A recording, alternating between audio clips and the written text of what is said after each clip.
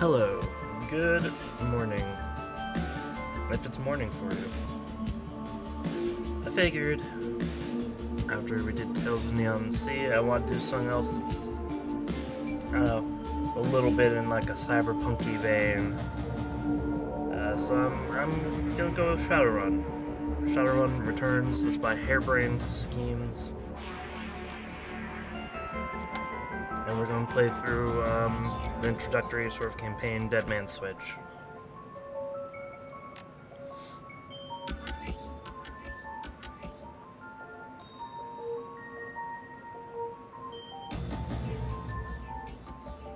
We're just gonna go normal.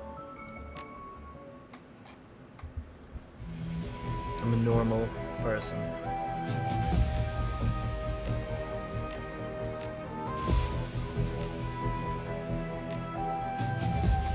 No idea what sort of character I want to create. Oh, a Decker. I'm gonna create a Decker. Maybe.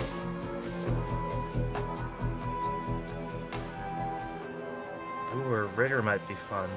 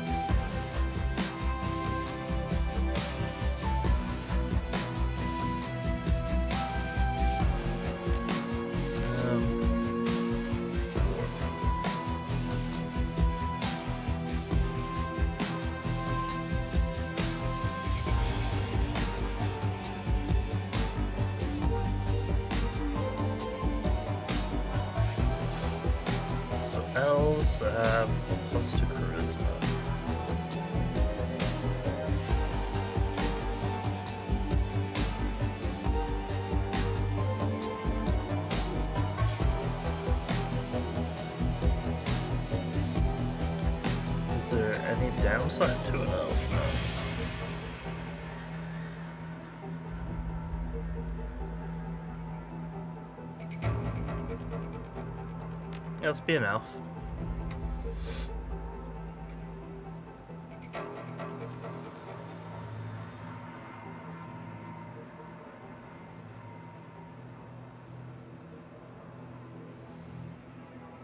I don't want to be a mage.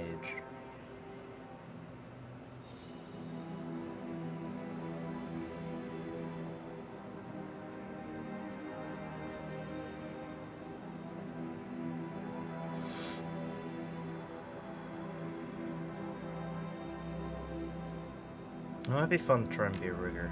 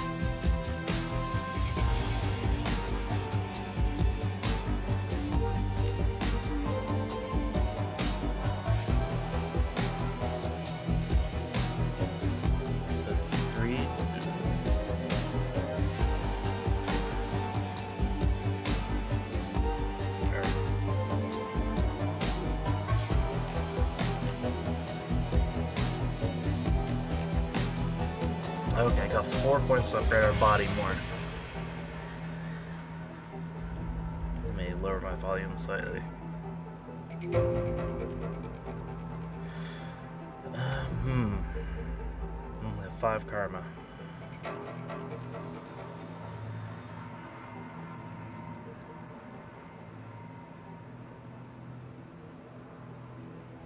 We could go and give some decking ability to start with too.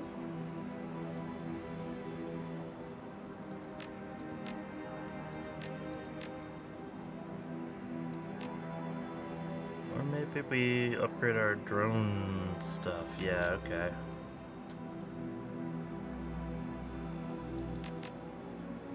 There will be a really crappy decker, and we'll have a little bit of drone fighting ability.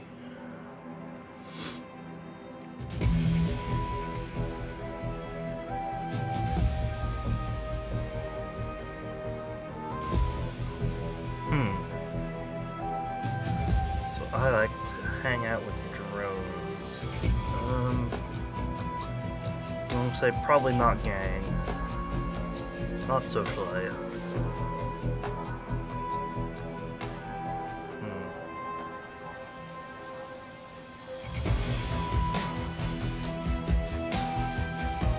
Maybe security?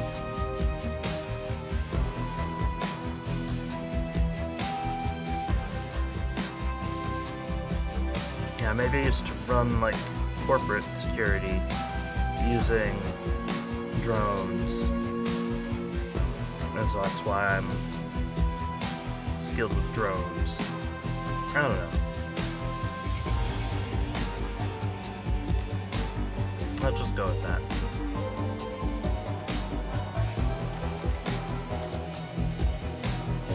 And our name's Baconator.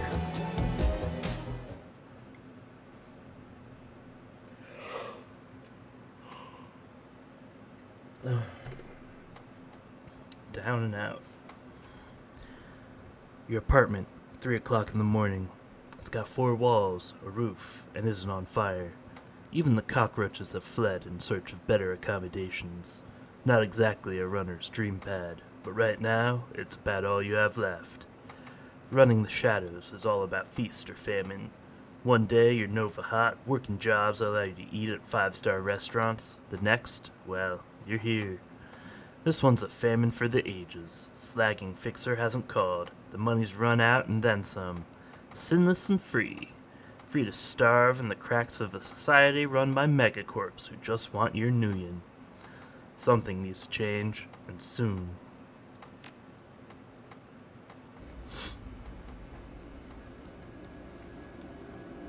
Um, oh, I have a Doberman drone.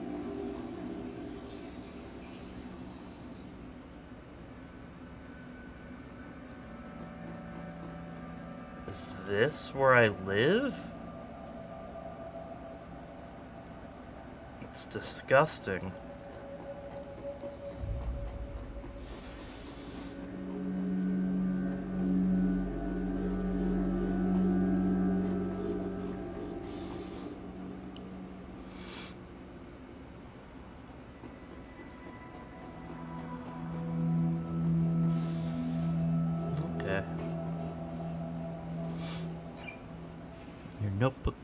Contracts, that sort of thing. The list is sad, dried up. Well then. Goes on, all either dead ends or just plain dead. It's my calendar. It's empty.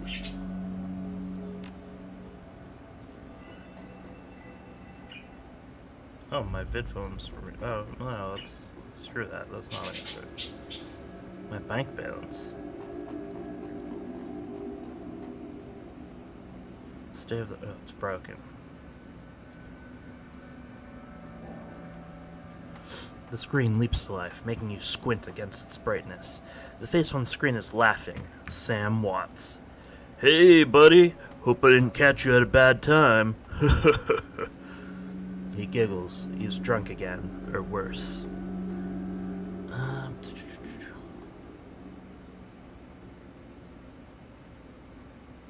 Where you been, Sam? I haven't heard from you in months. oh, don't bother with your side of the conversation. I'm not really here. Just one reason for this vid. Someone finally geeked me. I'm dead. I probably had it coming. When you're an unsavory character like myself, who tends to associate with other unsavory characters who often partake in unsavory business, like you, for example. So why am I dead? Who, who knows? Probably my fault. I wonder where you are right now. I bet you hit a big payday and you're living high on the hog somewhere. Some of us are born winners, and some of us, they're me. Hey, you remember that Renraku run when things went to hell and we lost Dowd? That makeshift saloon on the docks afterward? I really had your back that night, didn't I? Dowd, that's a name you haven't heard in a long time. Okay, our buddy Sam, he, he did. Three years ago, the night Dowd went down. New Larry Sangoma.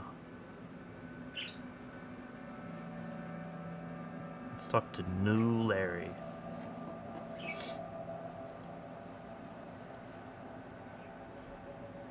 You've been running with New Larry for about six months now. He's a combat mage with a bad tattoo and a bad attitude. No, you're supposed to end a bad tattoo and an even worse attitude, but whatever. He knew Dowd almost as well as you did. Dowd. Never saw anybody die like that before. Idiot. He shakes his head. I hate this fragging city. Baconator. No. Sorry, there's a comment there. I hate this fragging city, Baconator. It's wet and the rain feels like acid, and I want out of here.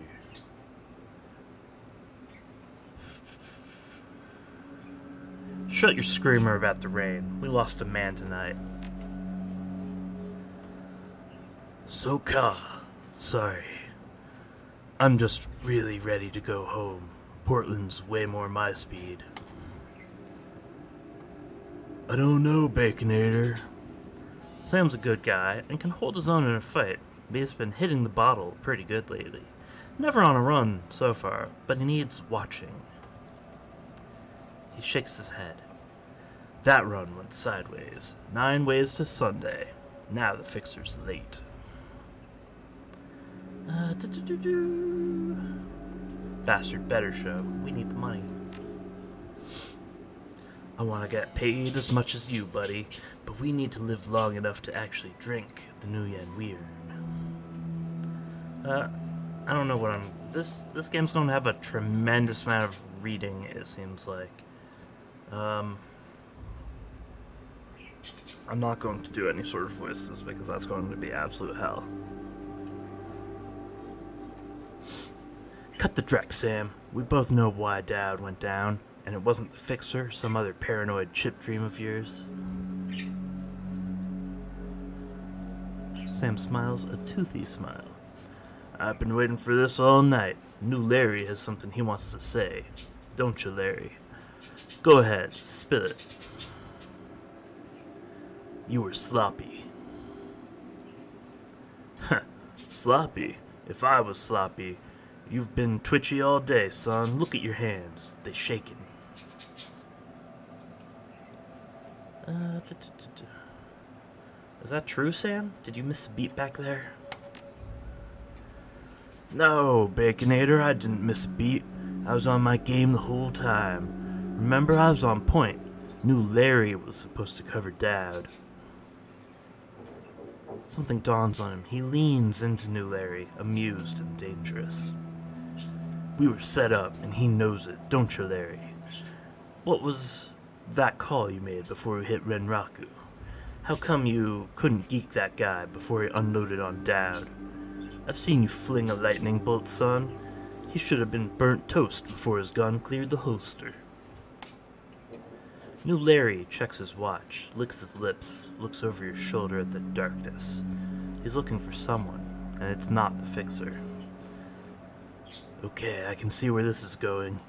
You chummers are damaged. I'm out. Oh. How much did they pay you to sell us out, Larry? He stops, and a smile slowly appears on his face. Honestly, didn't take much. Just enough to get me back to Portland and set up with a Cush Corp job. I'm out of this racket. Ugh. We've got incoming. New Larry relaxes and throws you a Drek-eating grin. Looks like my new Renraku friends are finally here. and They're gonna take that hard drive off your corpse, buddy. So this is a combat tutorial, maybe. We should choose our friends more carefully, Baconator. At least we have each other. You'll miss me when I'm gone.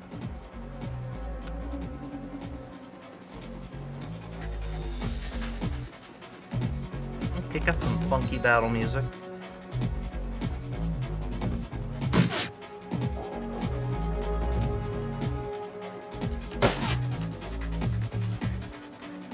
You're now in turn-based combat mode. Each character on your team has an action pool. Spend these actions on movement, attacks, or using spells and items.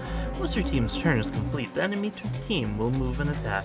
Additional tutorial information is available from the reference guide, which can be accessed in the upper right corner of your PDA menu.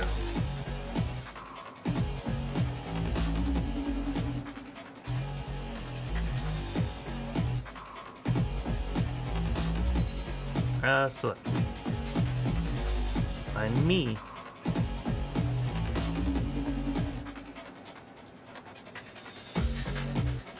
Have a Doberman.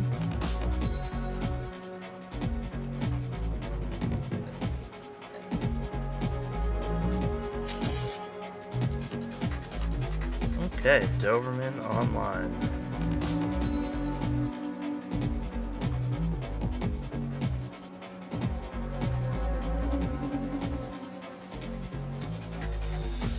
Does it need to be in cover?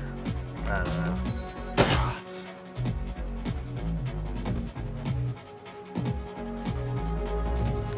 Big. Oh, new Larry's a badman too, yeah. Whatever, this is doing cover from both new Larry and the Renraku.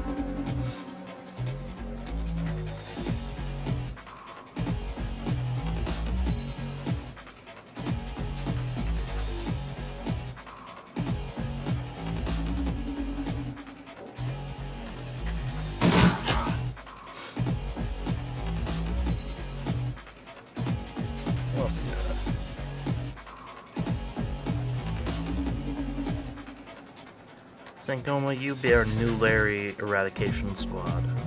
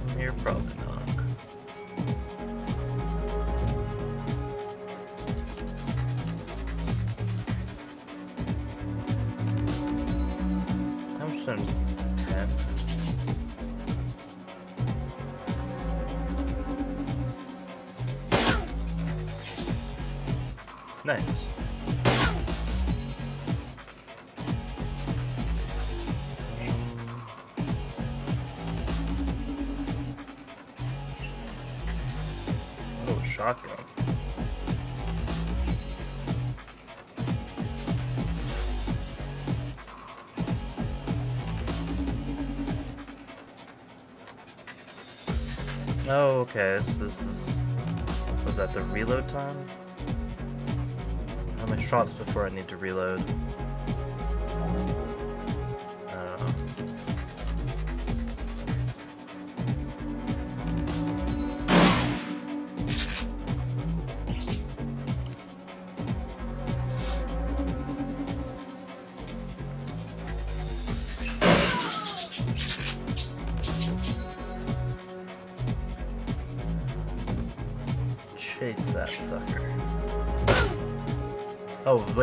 Sangoma only can move a very tiny baby bit. Okay. We're not going to kill New Larry, I don't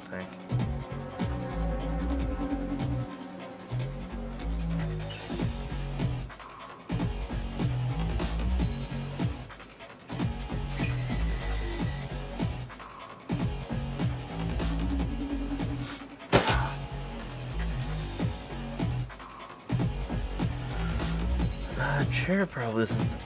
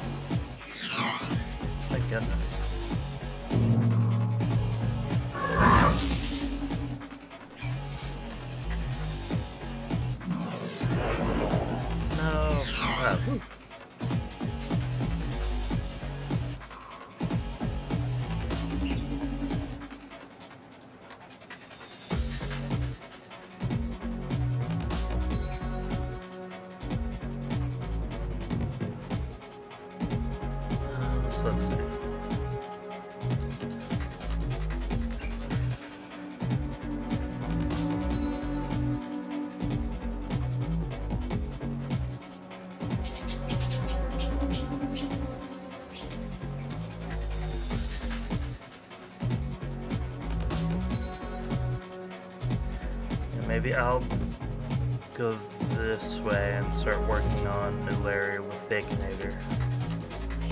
Drone can go this way.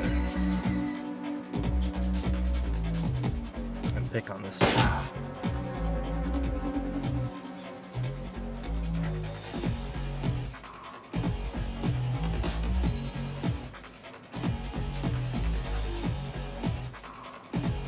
Two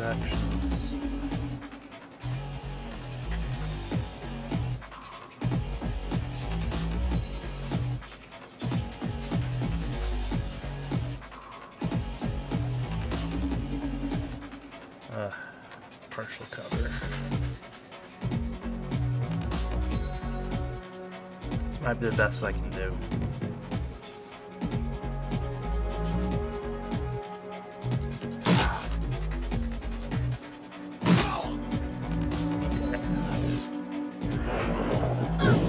Oh, so something we can pick up over here.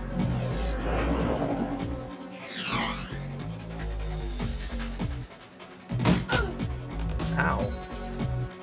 Oh, frick, Sangoma's gonna die.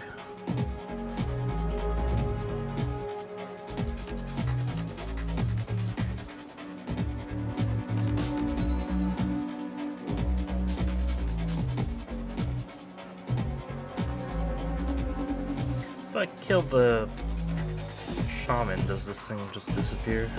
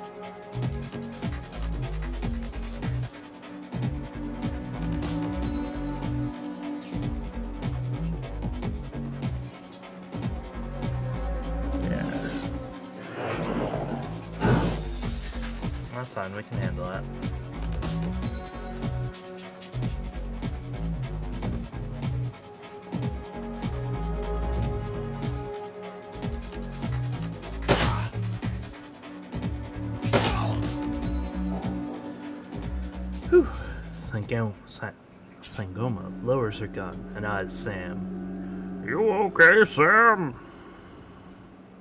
Sam's breathing's heavy and he looks shaken. That was a hell of a thing. Uh, you did good, Sam. You were born for this gig, Baconator. Me, not so much. I think I'm gonna hang it up. Find a nice brothel somewhere. S- stay drunk until I croak. What about you? Um. Me? I do this. This is the only life I know. Well, you're a dumbass, and I'll drink to you when you're dead. Ah, who am I kidding? I'm not gonna outlast you. Guess you can drink to me. Alrighty.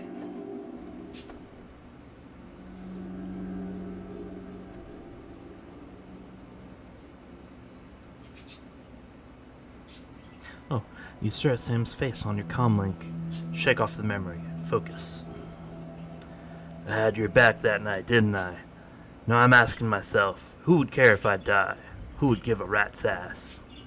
Better or worse, your name's at the top of the list. Maybe it's the only name on the list. So I set up a dead man's switch to send you this call.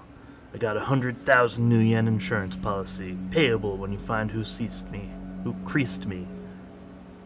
Alive with a conviction or in a body bag with a justification. Either works. Contact my law firm, Rogers, Mengert, and McCain, when the job's done. They'll know what to do. Chat. The camera swivels to show a well dressed man sitting next to Sam. Pursuant to Mr. Watt's wishes, Rogers, Mengert, and McCain has installed a secure, dedicated phone line, so you may contact us directly when the task is complete. We will send a verific- we will begin a verification process. Note that you must also be on the secure landline to access this number. We will not accept transmissions from comlinks or other devices.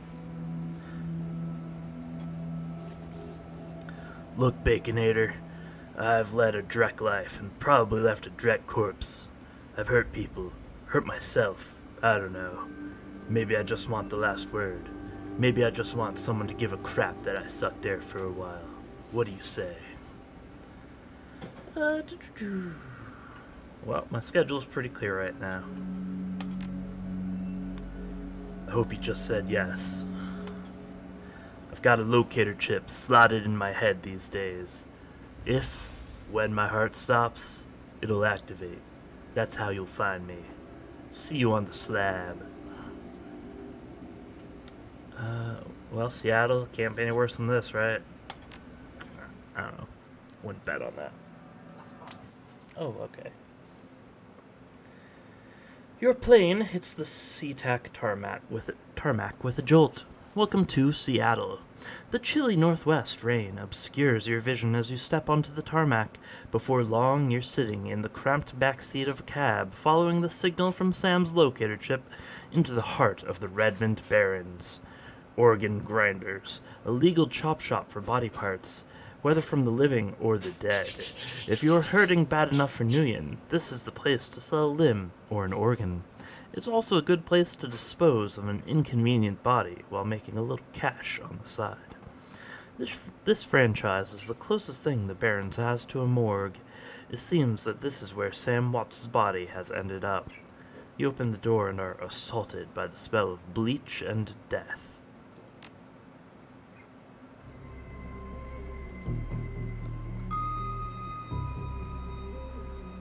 Okay.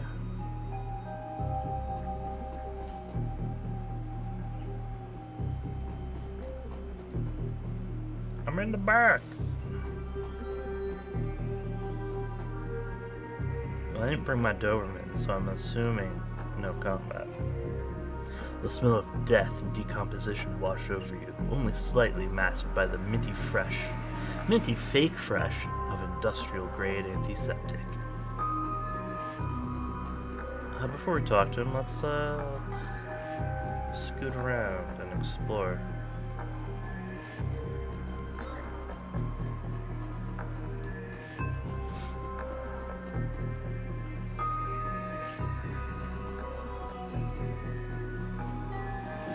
Oh, a dead body.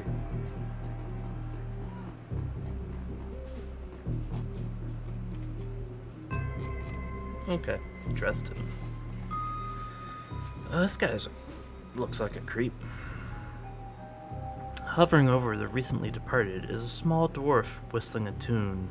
His broad grin says, I love my job. A little more than you'd want or expect from someone with the chop shop trade. As we approach, he looks up with a lopsided grin. There's something kindly in his eyes, though it might just be the stray reflection of chrome and surgical tools. Um, s- sorry, didn't expect any visitors at this hour, and some asshole at corporate took my receptionist. What can I do for you, sir? Are you the coroner? I'm John Dresden, the organ grinders branch manager here. So, yeah, that makes me this franchise area's coroner, too. And you are? Baconator, I'm here about Sam Watts. His grin fades. And what makes you think I know anything about that? Sam had a locator chip, you see, embedded in his skull. I followed it here. Well, I see. Well, you're right. He was here. Not too many people know about the murder yet, though. The press haven't caught wind of it yet. What with it being all the way out here in the Barrens. So who told you he was dead? Sam's ghost. When his heart stopped, I got sent a recorded message asking me to bring his killer to justice. Guess he had a hunch. The dwarf raises his eyebrows, a smile wiping the suspicion from his face. Once I have to open this. A dead man's switch, eh? Fascinating. I was working on him earlier. He's over there.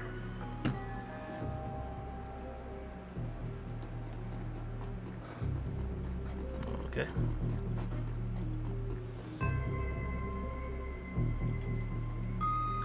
He's my second Emerald City Ripper victim. The third one was downtown. Ripper, eh? I guess the classics never go out of style.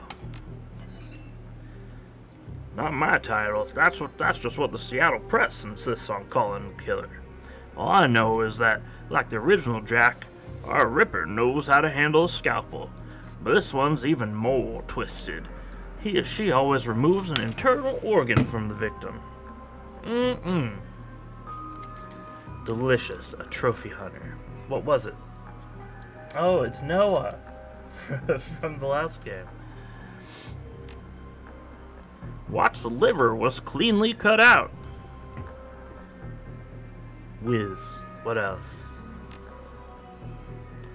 The first victim's heart was missing. The third had the spleen removed. Dresden, get out here.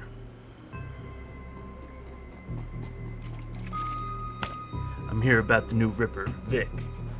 Sam Watts. Ripper Vic, sorry.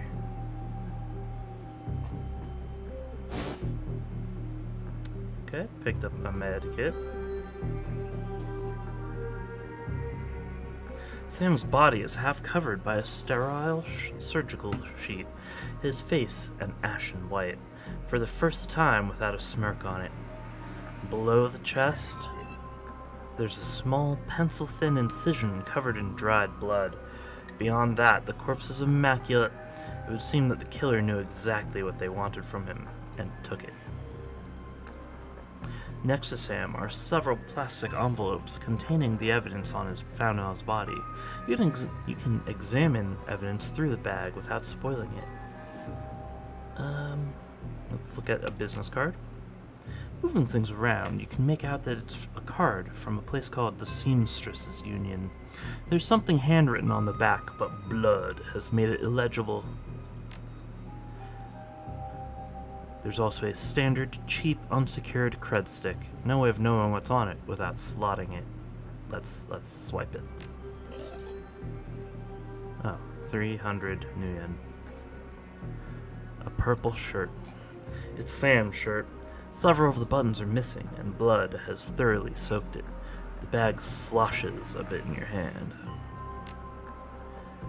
And there's a note. You can only see part of the note, given the torn off bits and blood stains.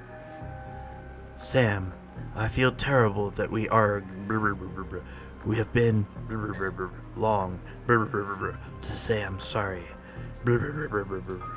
See you there. Love, Jessica. Jessica potentially lured him into a tarp.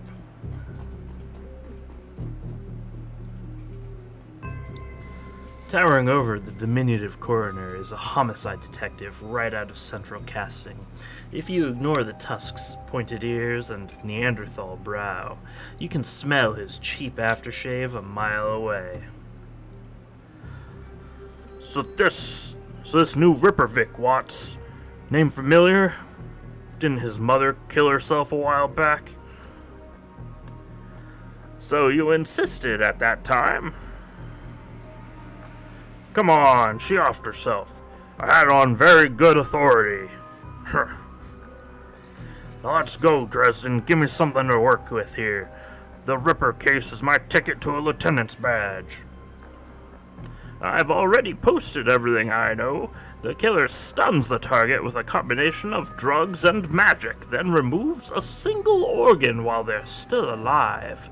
The perpetrator's most likely right handed, with a slim hand that knows its way around a scalpel, has a decent understanding of human and metahuman anatomy as well. So I'm looking for a whacked out surgeon. Not necessarily.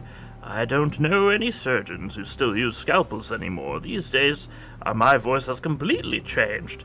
These days, it's all done with computer controlled lasers.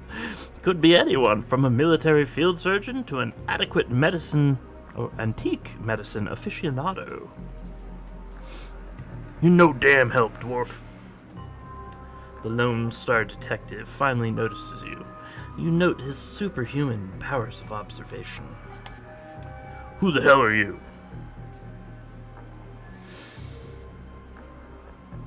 Are you the detective on the case? I was hired by Sam Watts to assist you in finding his killer. The Drek you were! You get anywhere near my investigation, it'll be you on the slab, elf. He looks back at the dwarf. Dresden, get me more. I'm putting someone in a cell or a box this week and claiming my promotion.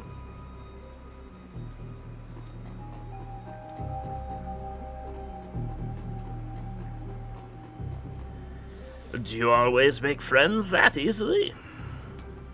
I'm great at dinner parties, too. Hmm. Be straight with me. You really gonna work for the dead man? Sam was there for me when I needed him. I'm gonna return the favor. Fascinating again. Detective McCluskey isn't interested in anything but Detective McCluskey. He'd convict his own mother if it meant another 10 new a week in his paycheck. Plus, he's on the take. Hmm. You have honor, after, after a fashion. I try to honor the dead in my work, so we have that in common. What can I do to help you? On the take, who's paying to hold his leash? I don't know, but someone with some major pull has been looking out for McCluskey's career and wallet. What was that McCluskey said about Sam's mom? The official report is that she committed suicide about a year ago. And you don't buy that? My name's on the report, but my actual findings left some mm, doubts. I can't say that it wasn't suicide, but there were unusual bruises on her upper arms, and she didn't use her dominant hand to pull the trigger. I was told to drop it, so I dropped it. What are organs worth these days? A whole healthy body can be worth a, a bunch of nuyen, but individual organs? Not worth as much anymore.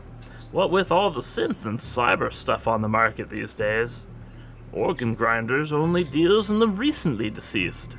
There's plenty of other chop shops that aren't as picky, though, and they don't care where the bodies come from either. Who still uses scalpels? Doctors still learn how to use them in their first year of medical school, as do coroners, but neither profession uses them much anymore, It's possible some of the slimier chop shops still use scalpels, I suppose, but I wouldn't know where to look. Have you heard of the Seamstress Union? Seamstresses Union. It's a nearby club in the Barrens that attracts lowlifes. You'd probably love it. Me, I'm not really the going out type. Always too much to be done around here. Plus, the dead are just easier to get along with. I just need to know one more thing. Where was Sam killed? Dresden looks up at you intently for a moment before speaking. I gained two karma. You know, I might be able to do you one better. Why don't you poke around those body lockers in the back and see if you can find anything useful? Um, alright. I'll go do that then.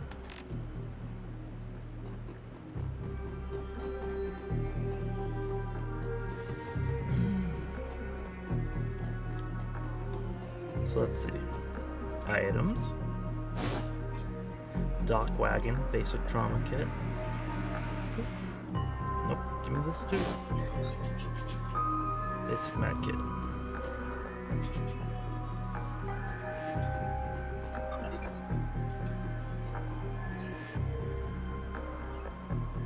The cold storage drawer is labeled John Doe, but the internal thermostat is set to 21 degrees Celsius.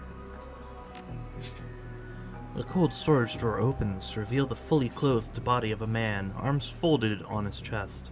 In addition to sporting some of the brightest orange hair you've ever seen, the body seems to be in very good condition. Oh. Whoa, easy there, buddy. In one quick move, he jumps down from the drawer and stands before you. For someone who just woke up in a morgue locker, he seems unfazed and pretty well put together. You spot a data jack drilled into his temples, and some shamanistic tattoos peeking above his collar. An interesting combination. I told John to wake me up at 6 in the morning. Is it 6 yet? It doesn't feel like 6 yet.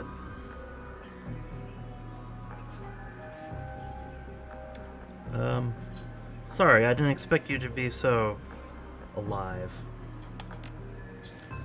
Yeah, Dresden thinks he's a pretty funny one. You're not the first person he's pulled on on he's pulled this one on.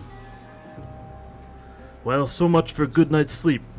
On the plus side, I noticed you haven't killed me yet, so that's that's really good. If you aren't after me, then what's your story? The latest Ripper victim. Did you know him? Sam, eh? Glad somebody cares. We used to drink together every now and then, over at the Union.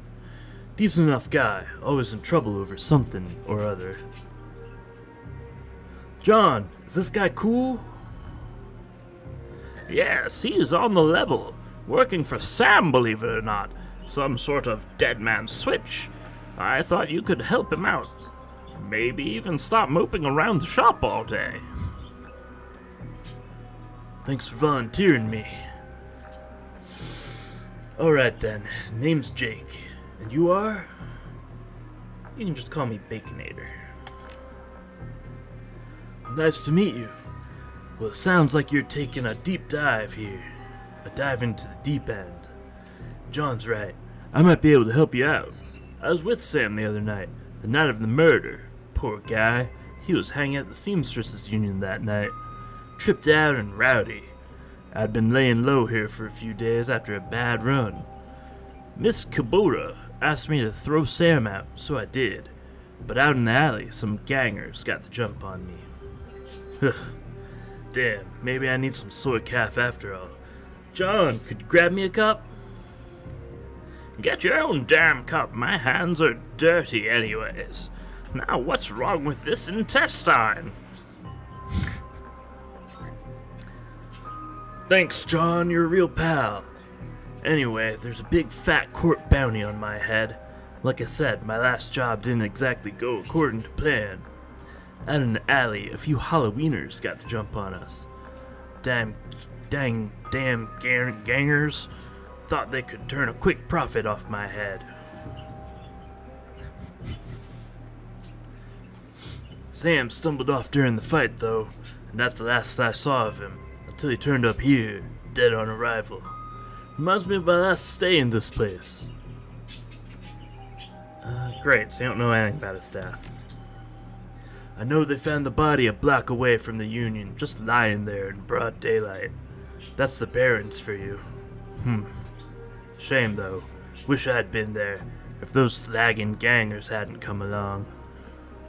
Tell you what, you look like you can handle yourself in a fight. I could use some backup to settle the score with those Halloweeners out there. Their leaders got the whole gang searching the Barrens for me. I need to get rid of that asshole. In return, I'll take you to the place Sam was murdered. It's not safe to hit the streets alone at night. Trust me. And maybe I'll throw in some decent supplies while we're at it. What do you say? Uh, let's see. Yeah, like some street justice. Let's do it. Great. I've been hiding out here ever since that run-in with those Halloweeners. Whiny bunch of gangers. But this stretch of the Barrens is their turf. Hell, I'm surprised you even made it here to this morgue in one piece without packing some heat. Very funny, Jake. You can sleep in the dumpster tomorrow. So, you need a weapon? Um.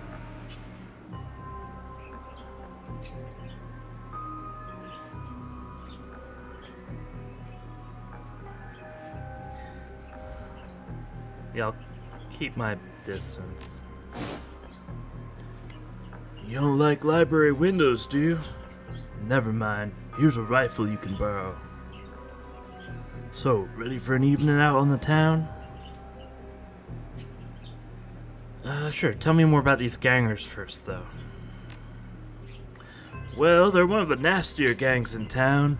Their symbol's a flaming jack-o'-lantern, but you wouldn't like their version of trick-or-treating very much. Around here, they're led by a troll named John Paul. He's got all the Halloweeners and the Barrens looking for me.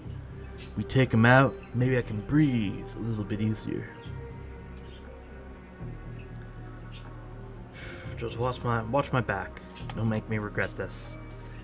I'll follow your lead. The Halloweeners aren't looking for you yet. Sweet. We can leave whenever you're ready.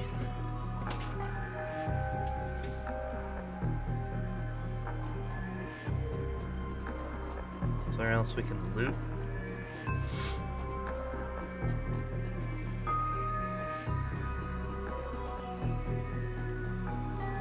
Let's uh, get out of here.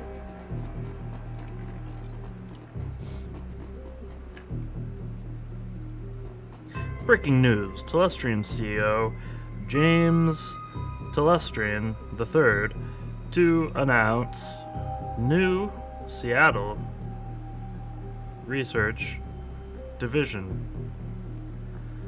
Sources say press conference tonight at 6 Pacific Standard Time.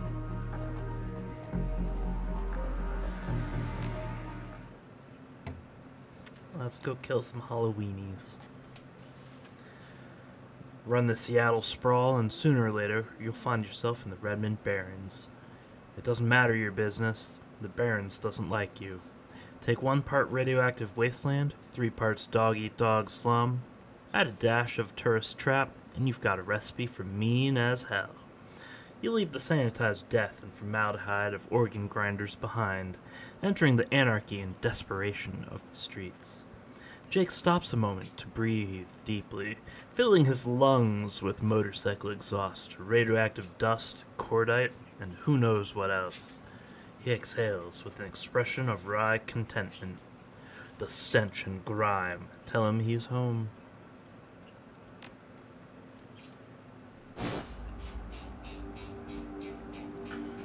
My stash is just around. Uh, I didn't get to really read that. Does the bus stop here?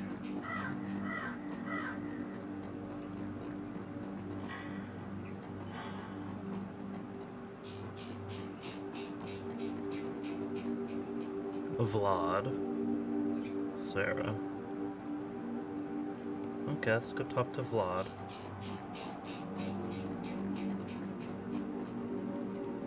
As you approach, the man sizes you up. You can see the age old flight or fight equation running behind his drug clouded eyes. Beneath the track marks on his arms, you spot a set of tattoos to indicate he is, or at least was, a shaman. Hey man, you okay? Yes, no, yes! No, I saw something. It's going to kill me. Calm down. I'm Baconator. What's your name? My name, my name is it's Vlad. Hey Vlad, those are some nice tattoos. You a shaman? The word shaman strikes a chord. He seems to shake off some of the mental cobwebs. Yes, yes, I, I'm a shaman. I thought so, Vlad.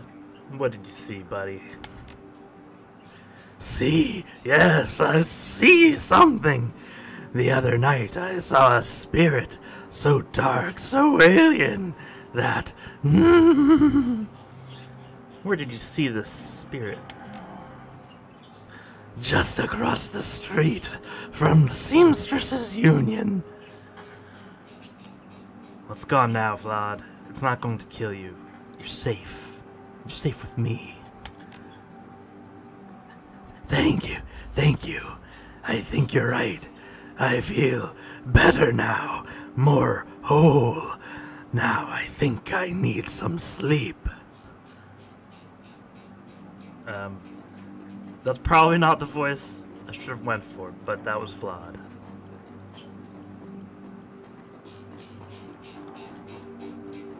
Don't go to the market.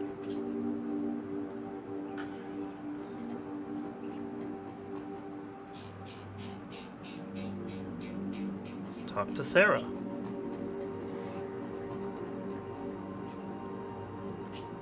Her clothes may be dirty, but this woman's far from downtrodden. Hey, not that it's my business, but I wouldn't go that way. Why? What's going on? Just some Halloweeners stirring up trouble again. They rode in this morning on those fancy bikes, set up camp in the old street market. They've been marching up and down the street all day, shaking down anyone that wanders past. Typical. Well, odds are those are the guys we're after.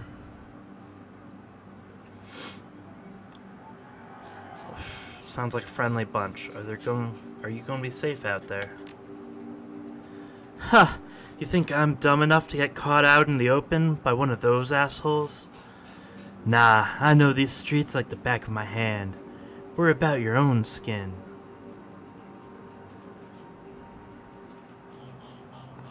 Thanks for the heads up. No sweat, baby.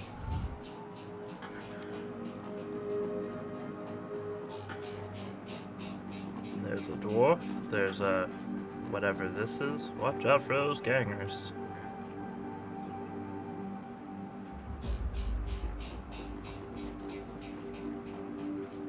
Okay, so that that's the market. This objective that we had is not the market, it's the alley. Oh, can I go get some sword calf? Looking for a date? Elves are my favorite. I'll pass, lady.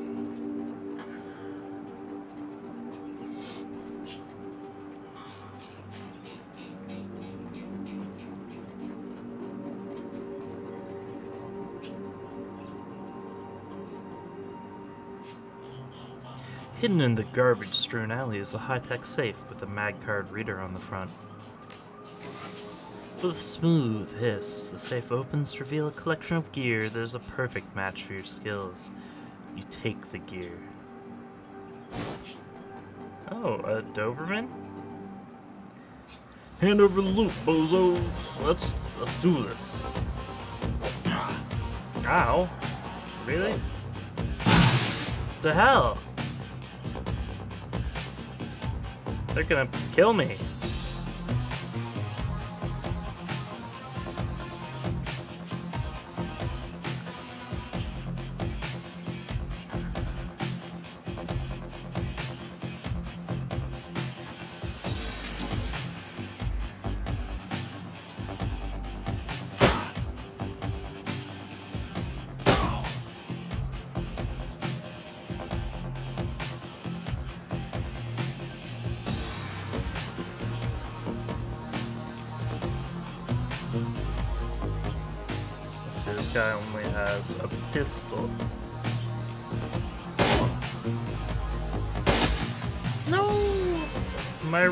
Buddy. My Doberman.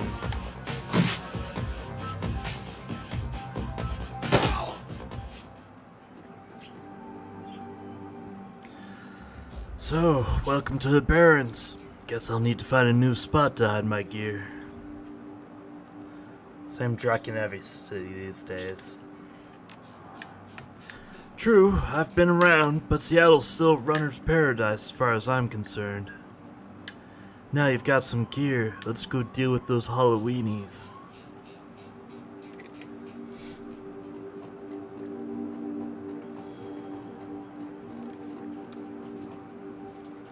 Um, hmm. Head thug.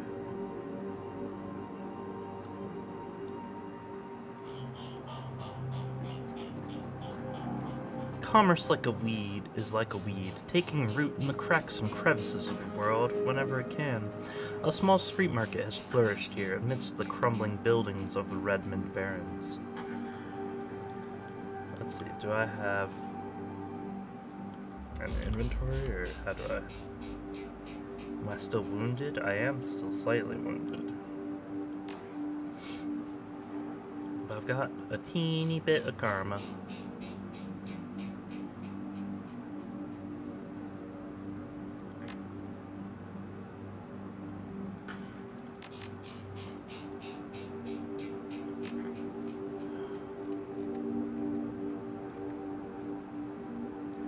Just want to focus on our drone?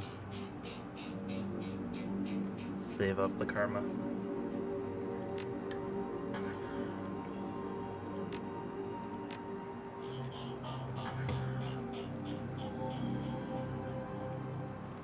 Yeah, okay. It's up to the head thug. The thug attempts to use his bulk and hideous breath to intimidate the shopkeeper. The old woman's holding fast, but you can see the thug's patience fading, and he looks like he's about to start breaking things. Eh, who the hell are you? Hey, you heard the lady, back off. You think you're tough? I own this block. Back off before your blood ends up all over my nice sidewalk. You know, I'm really sick of gutter punks like you. I knew you were just looking to cause static. Dash, ice this guy. You're freaking dead. Um, okay, so we're just fighting two people. We can do this. Do I have to turn on my drone every every battle?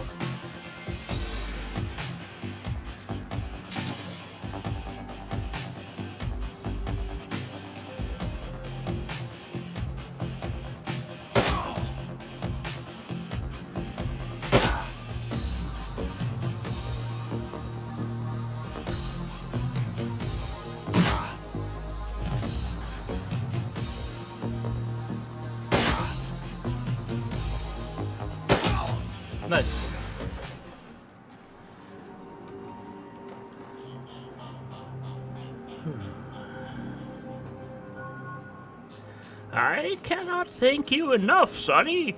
I hate to see such bloodshed, but those men wouldn't take no for an answer. We simply want to make our way in the world. Please, it's the least we can do. Sweet. 48 million. Amazing.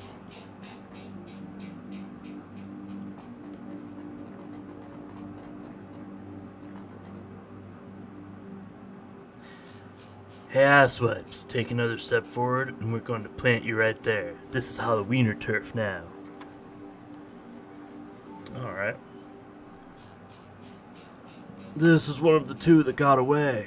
If I hadn't missed my shot, these idiots would would have given up and moved on by now.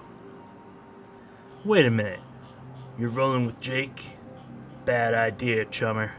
The Halloweeners are collecting that bounty. And killing you? Well, that'll be a nice bonus. Okay. Owie!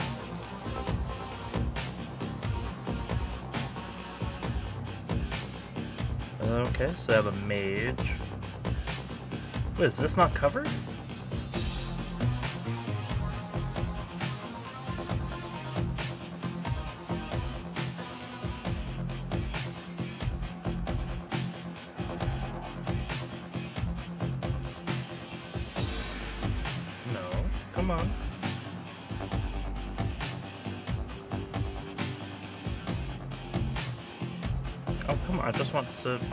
Back here. There.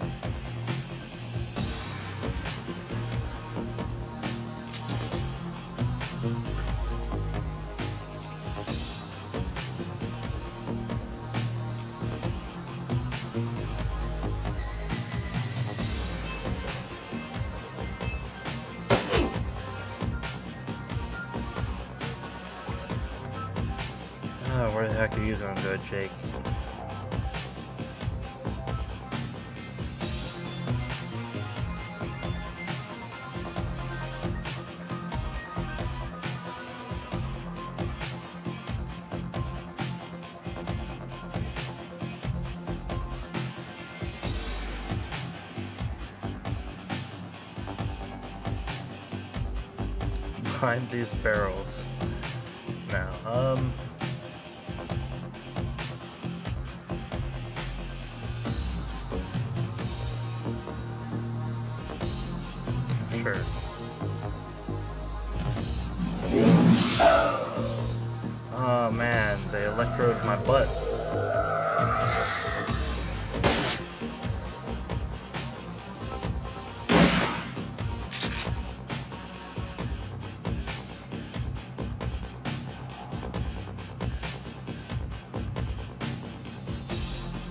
Not very good with a rifle,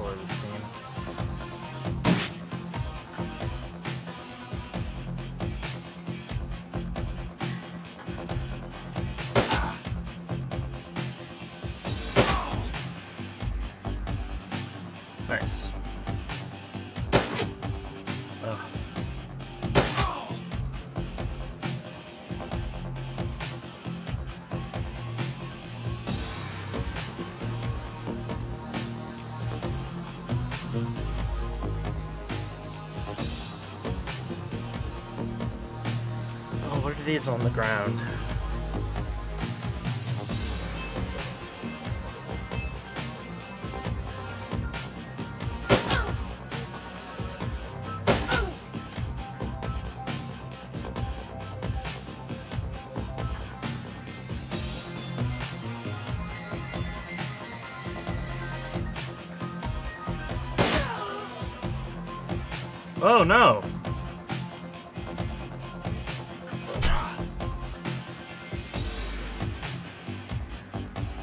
John Paul.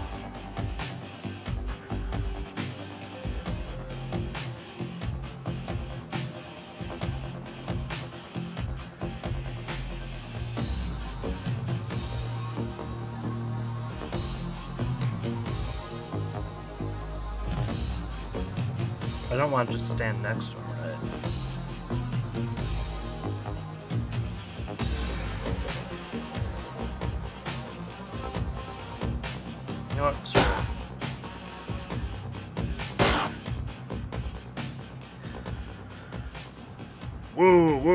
Uncle. I was just playing with you. I'll call off the rest of the Halloweeners, Jake. Call it even, yeah?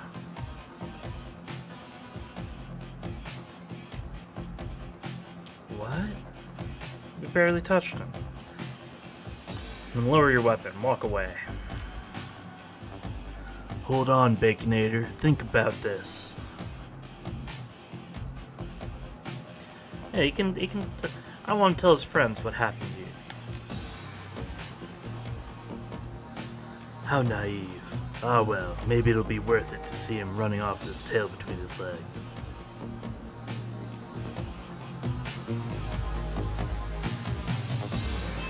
Yeah, we'll probably have to fight them later. Oh well.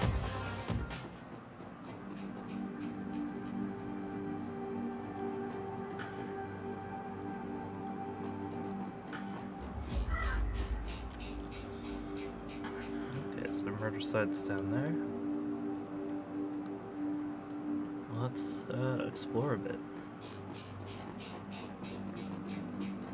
We have Dan the Donut Man, Bobby,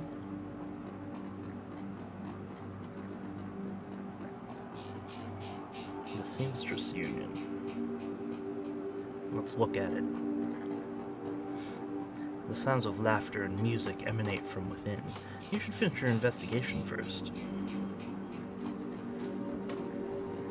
One second. I need to look outside.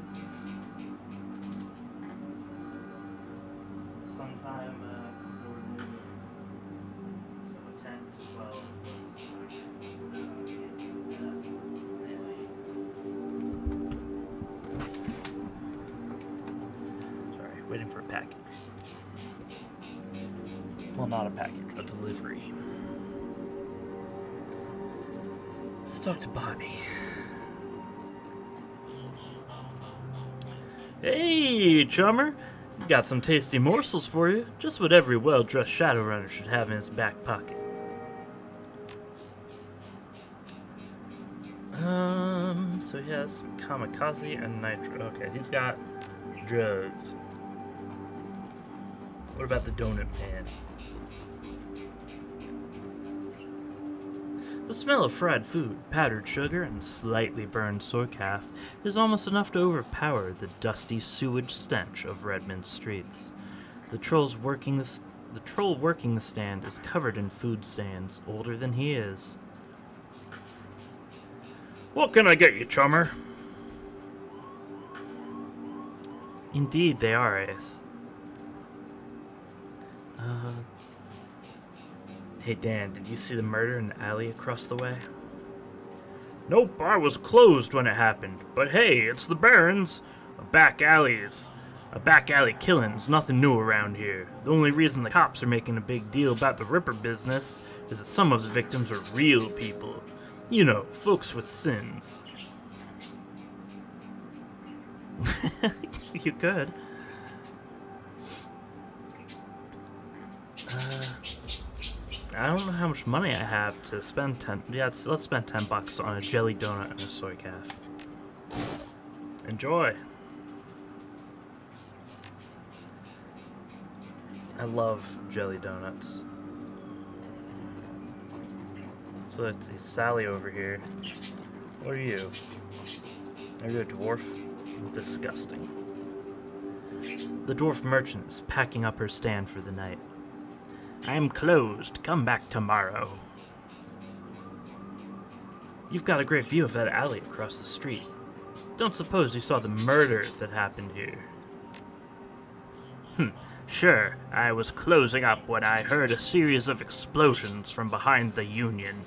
A couple seconds later, this guy comes out, runs across the street. Didn't get a good look at him. Then all the lights in the alley exploded all of a sudden. Things got pretty quiet after that. Let me guess, you didn't go running over to see if the guy was okay, right?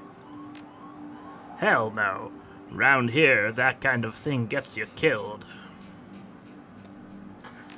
Okay, thank you for your time.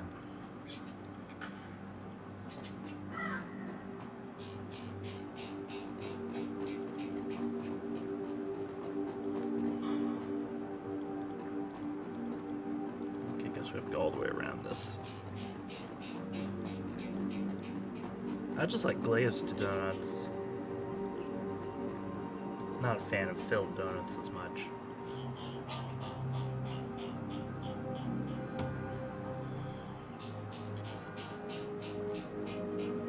William.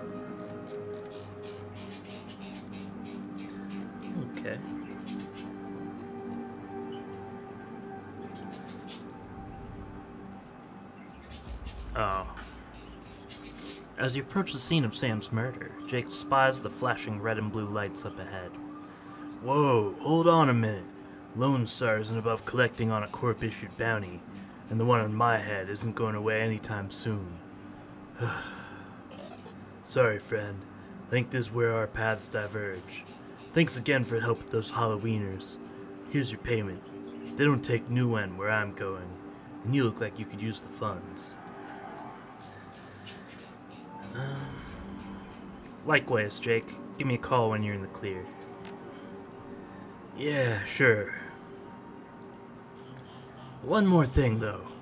When you're done checking out your pal's crime scene, pop into the Seamstresses Union.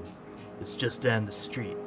You need gear, information, or just a damn stiff drink? That's the place to be.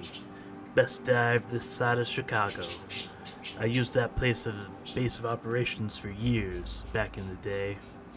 Make the right friends there, and I'm sure you'll get to the bottom of this Ripper business. Well, nice knowing you.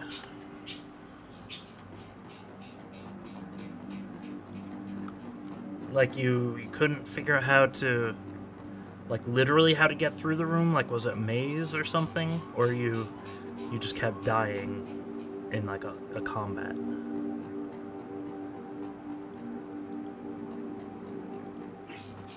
I'll go talk to William about my good friend's death. The bright yellow police tape cuts through the darkness, directing your eyes to the white chalk outline and dark red stain marking the slab of pavement where Sam Watts died. Standing at the entrance of the alley is a Lone Star officer. The cop looks cold, hungry, and irritated at the homeless man who's currently pestering him. I keep telling you, I need to get my stuff from the alley or I'm going to die in the cold tonight. Yeah, and I've been trying to explain to you that this is an official Lone Star investigation and I can't let anyone in here. Hey, I, I got rights. Look, you sinless garbage, I've got a job to do. Find a new blanket, or I'll find a reason to use my stun baton. Typical, I, I hate all you pigs. William, stop running. Oh.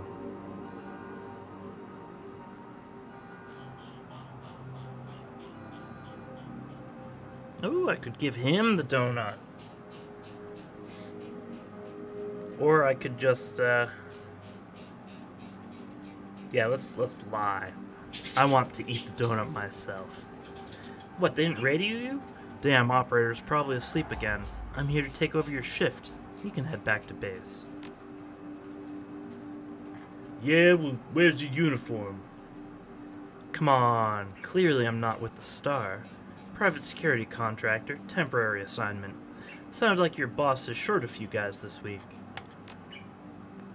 Yeah, but we have been spread pretty thin lately. Anyway, it's it's about fragging time someone showed up.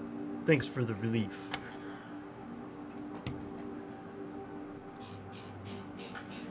The streets have not been kind to this man, but they've also hardened him.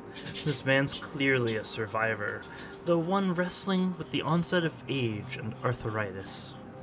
You, I saw you over there with that rat bastard cop. What do you want? Oh, you look hungry. Want a hot soycaf and a jelly-filled donut? Oh. I'm I'm homeless, not helpless. Thank you, but no thanks. I remember the old days, the taste of real coffee, and let me tell you, that drek, that's not real coffee. Back in my day, you see, we had real coffee. Knowing about the murder that took place? Hmm. Are, are you a copper or, or working for some some corp?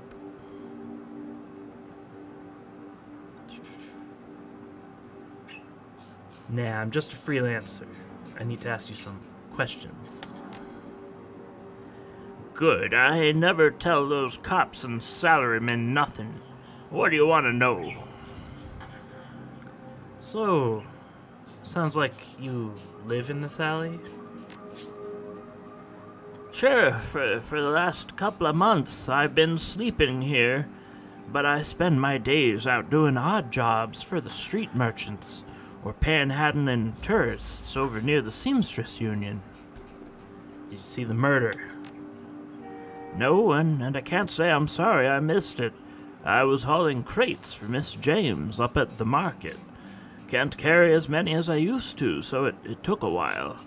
Got back here in time to see a couple of tourists poking all over my home turf. By then, that jerkface in the uniform had already set up shop in my alley.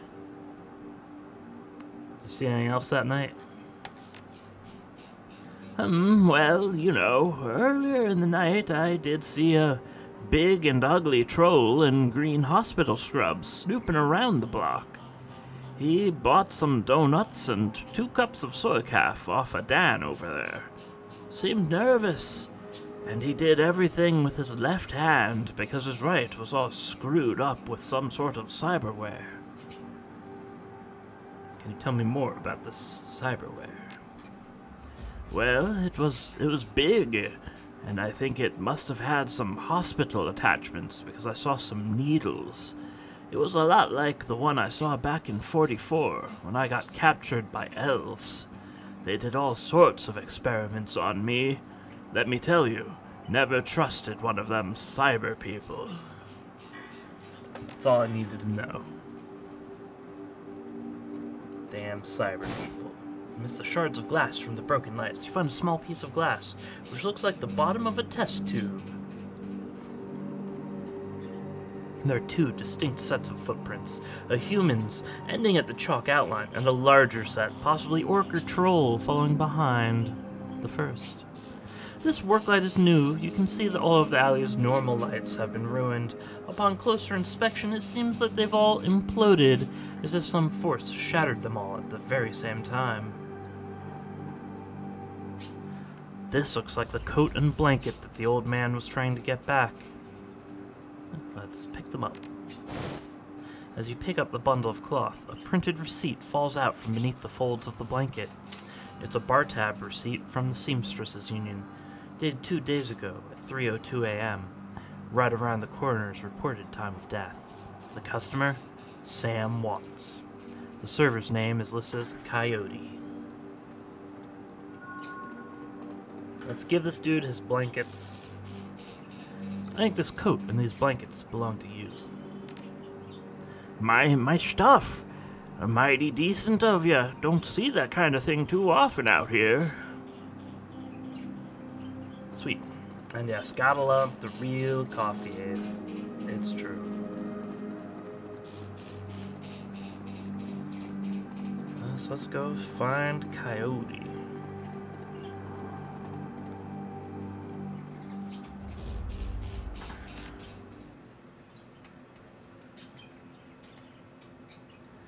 Relative to the rest of the Barrens, Touristville is a neon clothed oasis.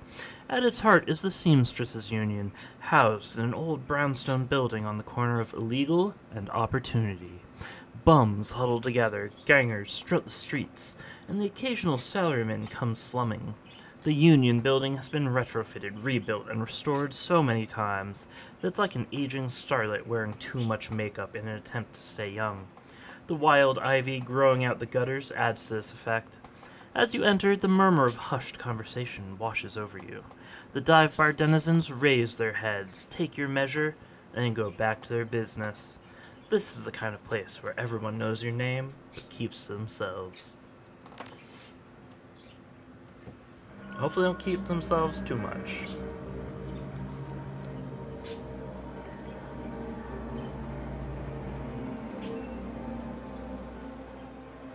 A Hat in Time. Eric Mersman, Cherry Bomb.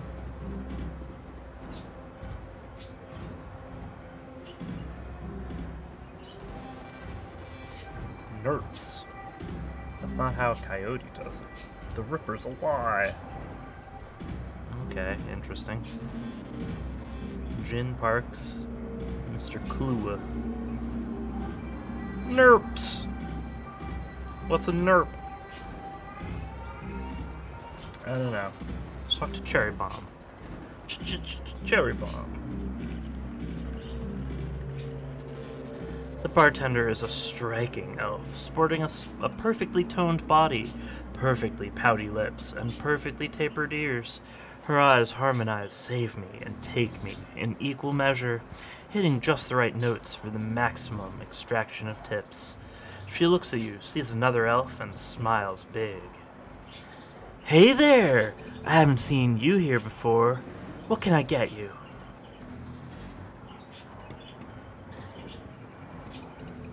Something dirty in a clean glass. Ooh, a hard case. I like that. Okay, hard case. I'll get you something stiff. Turns, she starts to turn away when a man with the face of a survivor and the zeal of a convert tugs at her arm, hard. It's clear the two have history. They try to keep their voices low, but the intensity of their conversation makes them easy to overhear. Cherry, you have to listen to me. If you stick around here, you could end up dead, or worse. The Ripper's out there, and he's real. The last killing happened just down the block, and now Coyote's missing. They'll probably find her tomorrow in a dumpster without her head. Come on, Cherry Bomb. Think! Think! I think plenty, Shane. I'm getting a, a freaking d from a, a what? A, oh, a, a PH freaking D from UW in neuroprosthetics, studying under O'Gemins. And, and how am I paying for it? Bartending, tips. There are faster ways for a Barrens girl to earn that kind of scratch, but I'm not taking them. So what do you want from me? I want what you want a better life, a better world for everyone. The Universal Brotherhood can give you that. I've heard this all before, Shane. This isn't some trick to get us back together. Things are different now. I'm different.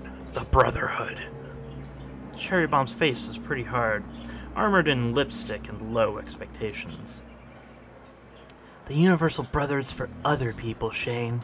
Rich Bellevue types who can afford their membership fees and voluntary donations.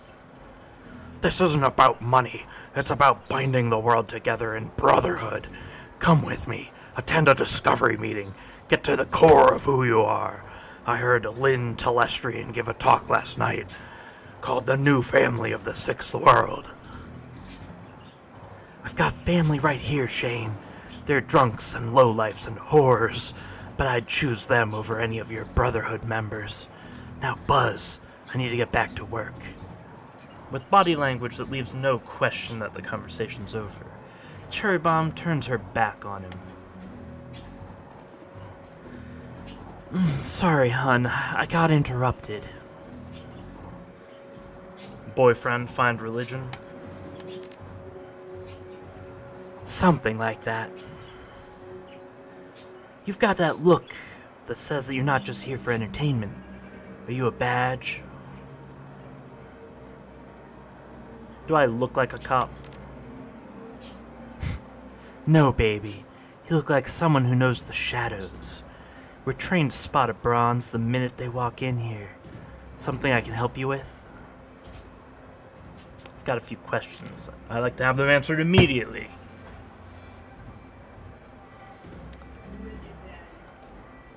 Ask away. Um, that guy mentioned Coyote. Is she here? No, I think she's away on business. Business, huh? Is she a shaman? With a name like Coyote, I just assume this is a shaman. no, she shot a coyote once, thinking it was a shaman who double crossed her.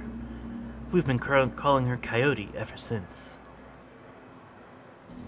She's been missing for a couple of days now. Some people think the Ripper got her, but I know her. Coyote can, can take care of herself. You ever hear the name Sam Watts?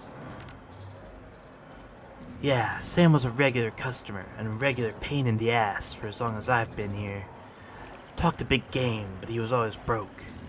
As soon as he got any money in his pocket, it went straight to his head. Chips, drugs, or booze.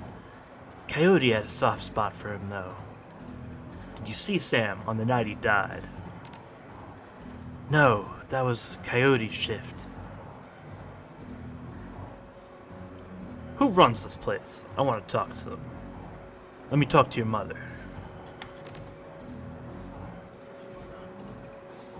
That'd be Miss Kubota. She's in the back room. You can't miss her. Whiz. Nil Sweat. Okay, so she's in the back. Room. Let's talk to Eric Mersman. Whoa, this guy looks nothing like his in-game model.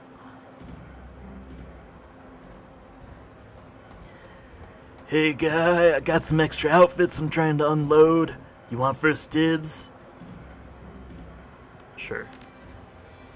So he sells clothes. Got it. The tourist look.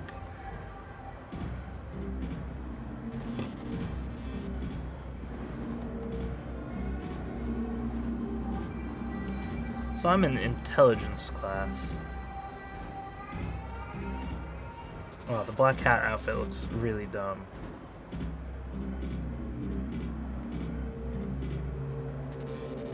Oh, why does the tourist look so good? Three armor? And here I was looking at like, oh, I already have secure Rigger clothing. Which is awful.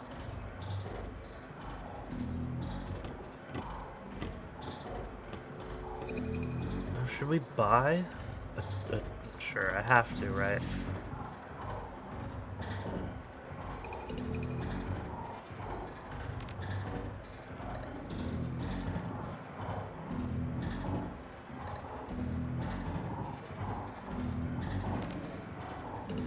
Sure.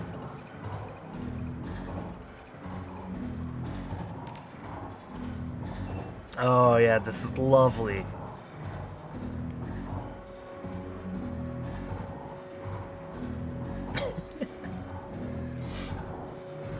So we have a Doberman, which is a Class C drone, an AK-97, a bunch of med kits, and a trauma kit. Okay, which is a res.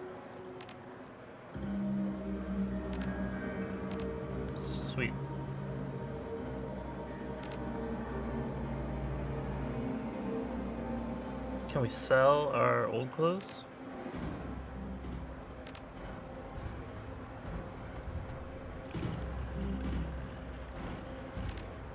Okay. Cool.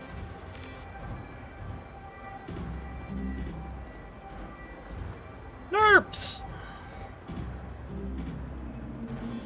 Wyvern's Tooth Ale.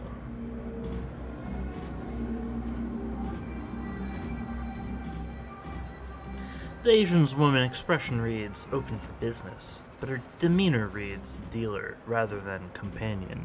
She has a jack on her neck, a gun in her hip, and a chip on her shoulder.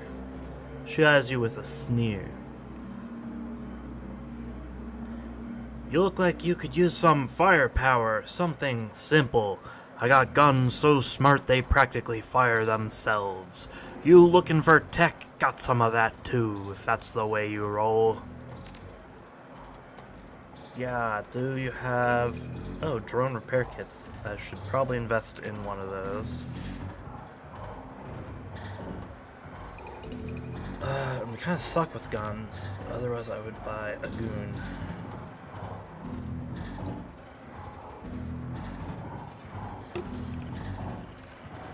Support drone is equipped to lay a smoke trail. That's interesting.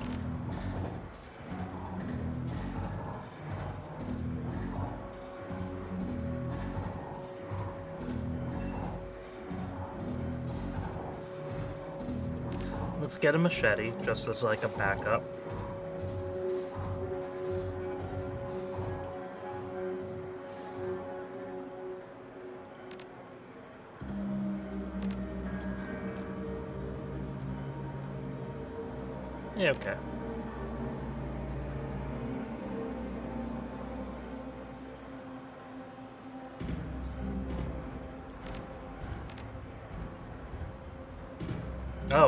Yeah, I can't equip a third weapon.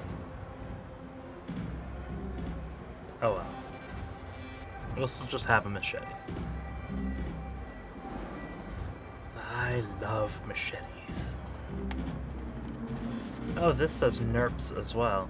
NERPs. What are NERPs? So we've got Johnny Clean, Noog, Klua. Oh, what is this? Oh, like drumming area.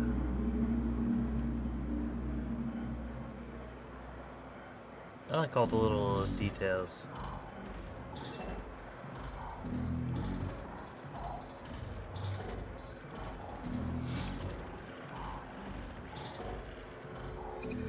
Posted at the doorway to the VIP section is a tower of troll muscle wrapped in an impossibly tailored suit.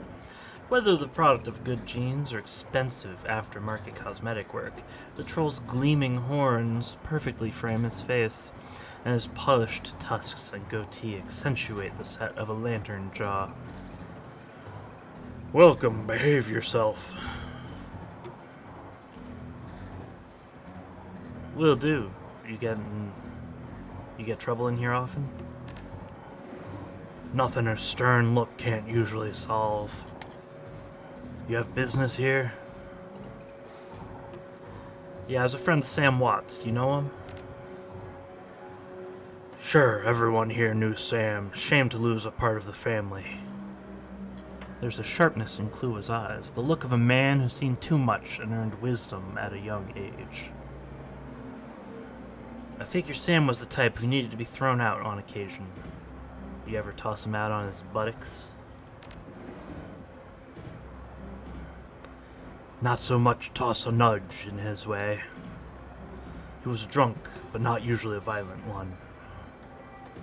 Usually? What about the night he died? He was a bit agitated. Didn't catch the specifics. Might have been over a woman.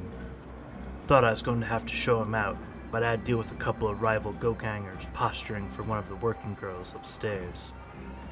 Jake helps him out instead. I appreciate the talk. Happy to help. Okay. What was this? Mrs. Kubota. What is this dance right here?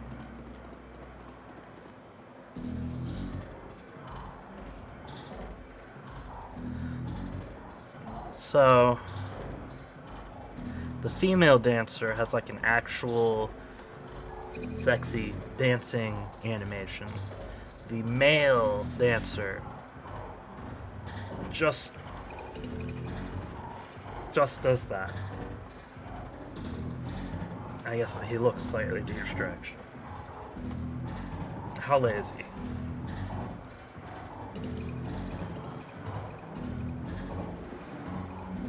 Yeah. Awesome. Imagine looking at this person dance and just being like, awesome.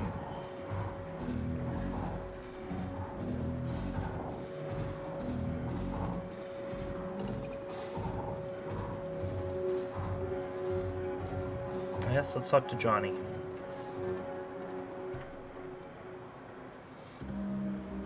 The man's dressed like a janitor, but he's wearing unusually clean overalls. He's tall, rail thin, and has a cunning look in his eyes, says he's more than just the maintenance man. Howdy, name's Johnny Clean. You new? I am. I imagine you've seen all sorts of things in a place like this, eh? That's true, quite true. And I keep my mouth shut about it too. That's the secret to keeping a job here and staying alive in general. Gotta work. See you around, buddy. Do you have a love potion? Wait, so this guy sells like magical stuff, maybe. Ugh. Covered in glowing magical talismans and fetishes, the troll does not seem to fully be of this world. He mumbles to himself constantly, apparently participating in several conversations at once, but with entities you can neither see nor hear. I, I told you it's not like that at all. Bring me proof, and you shall have it. I'm honored, your majesty. That was why I said to use mustard instead of catsup. Forgive me, Jean. I was a fool. He looks you in the eye, his other conversations on hold. You may peruse my magical wares and see their glory. Sure. I don't want anything magical, though.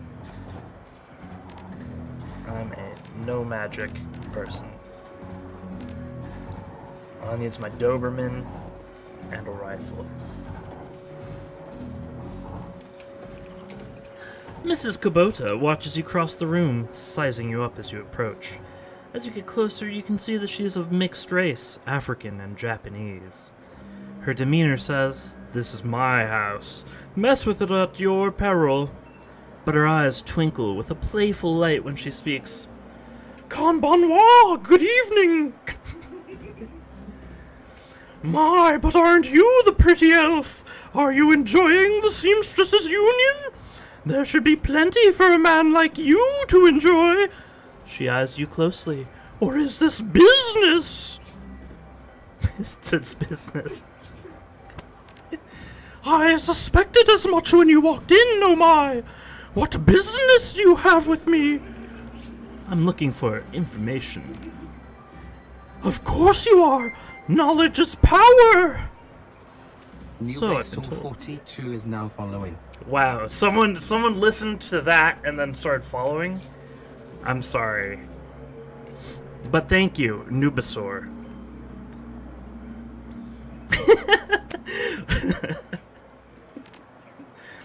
Suka, and why should I help you?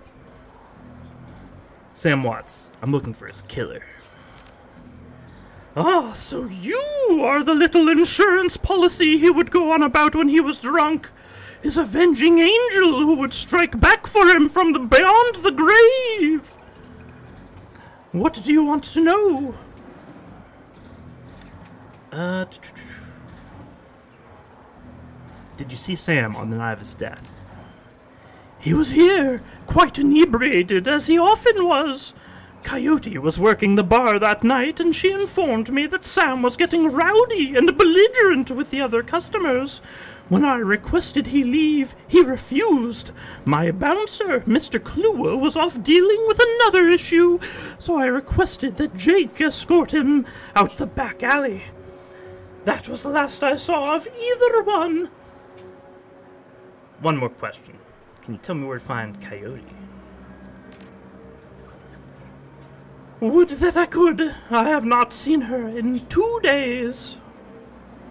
She's a smart woman and quite dangerous, but I fear for her. If she's smart, why fear for her? Because she's in a dangerous line of work, and there's always someone smarter, more prepared.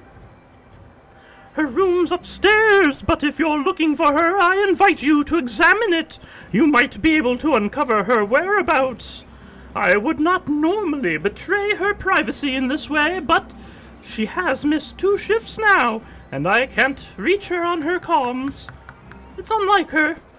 If something has happened, I'll not have inaction on my conscience. Here's the key. Uh, I'm sorry. I apologize for for that. I, I don't know what I was doing.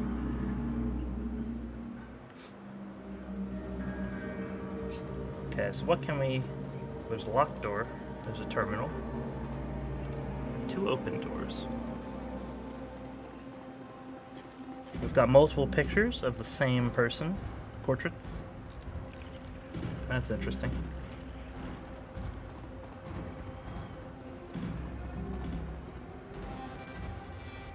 There's a mid-grade security panel attached to the nearby door. It's set to require a password for entry. Can I increase my decking real quick? Uh, yes.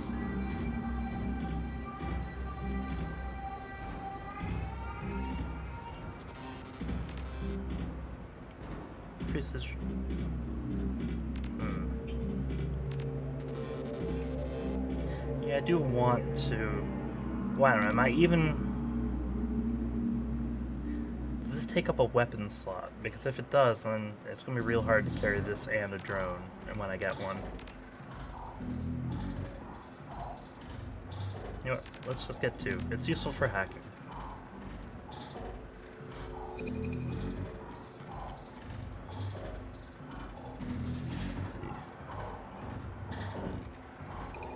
Let's increase our intelligence by one. And drone control. Hopefully that was not a mistake. Let's hack it.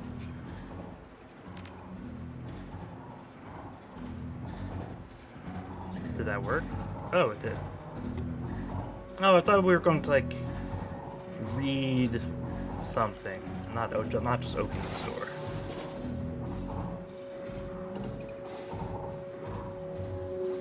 Okay.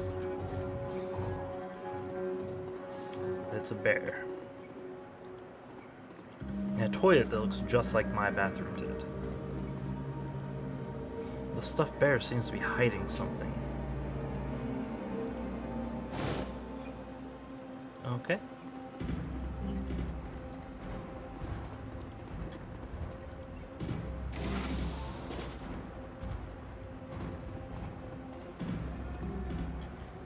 Did people really do their laundry in this universe in like these old like tubs? There aren't even like cheap laundromats or something they can just take their clothing to? Like, I'm all for anachronism, but that's very strange.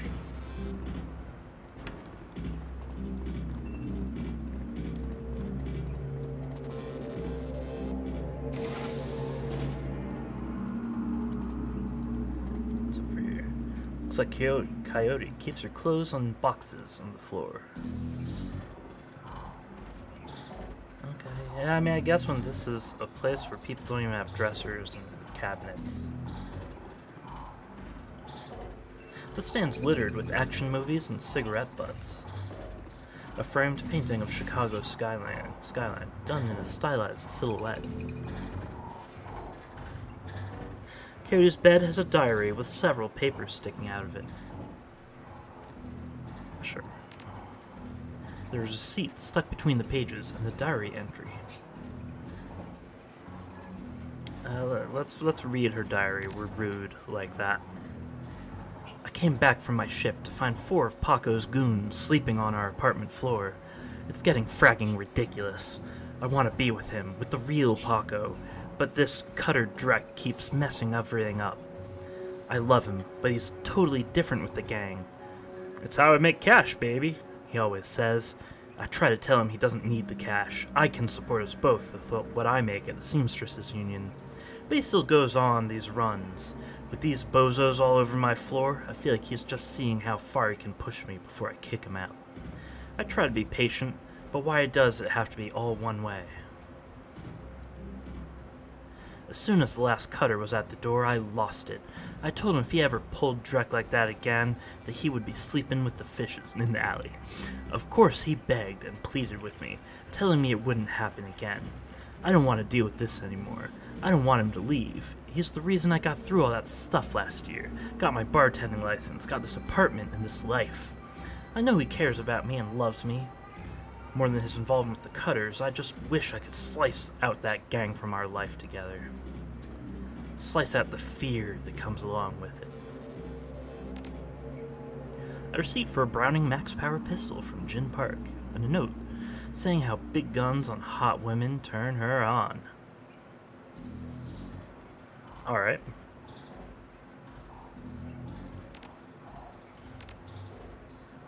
This paper has a handwritten poem on it and a diary entry. Sometimes it seems like Paco reads my mind or my diary. Maybe he does the latter. I wouldn't be surprised. Hi, Paco. Ever since last week, he hasn't mentioned the cutters once.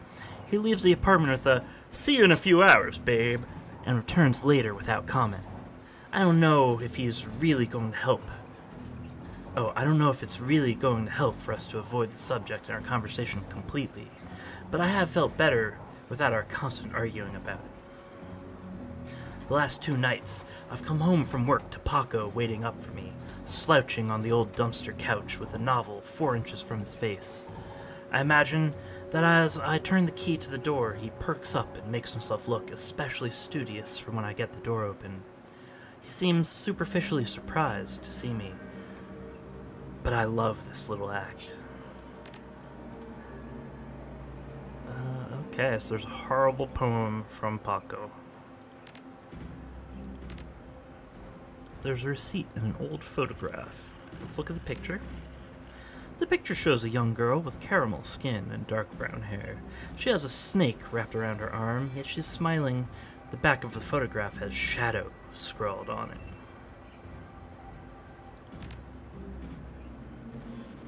A COD receipt for a special order. Five pounds of zebra meat from Moria's Meat Emporium, located near Pike Place Market. Okay. So they can't properly buy like laundry and clothes washing equipment, but they can buy five pounds of zebra meat. What a world.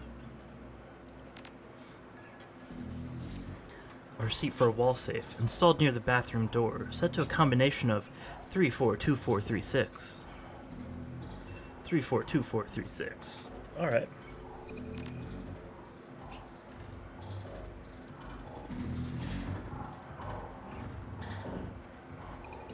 Sure, put in the code. The safe beeps cheerfully in response the, and the door comes open. Boop!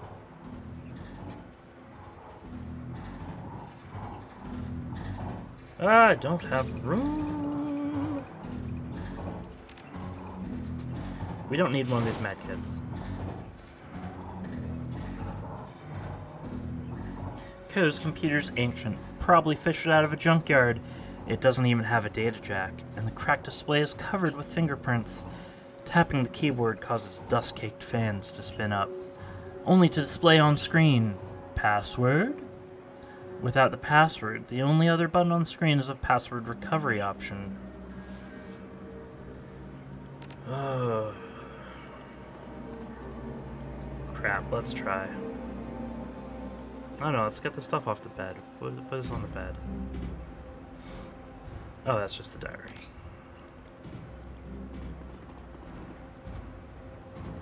Sure, password recovery. Your first childhood pet. Shadow? Favorite musical act? Oh. The hell like I know. Crap. Crap, did it say somewhere in here?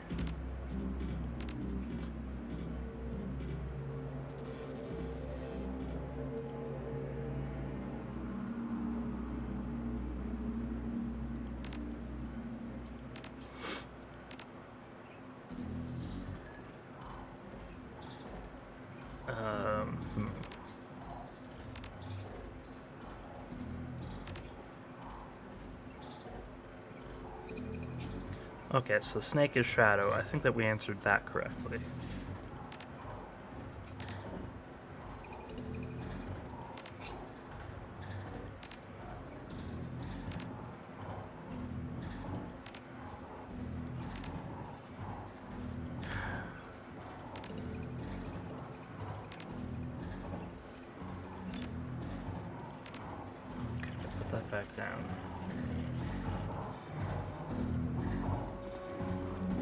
Be a clue somewhere.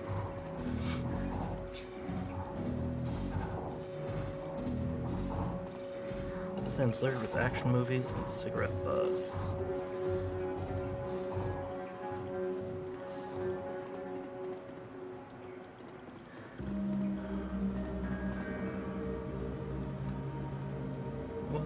Hmm.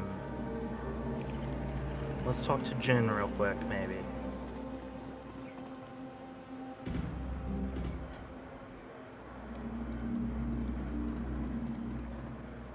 Oh, she moved.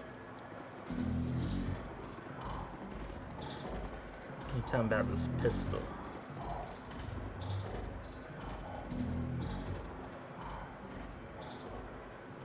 Need some hardware?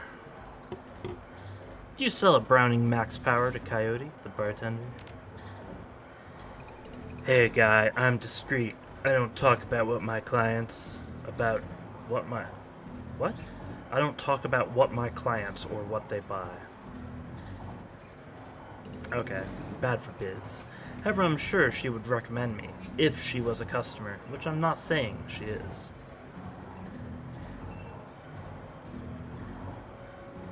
Of course, I'd expect no less. Listen, Coyote's missing, and Miss Kubota asked me to find her.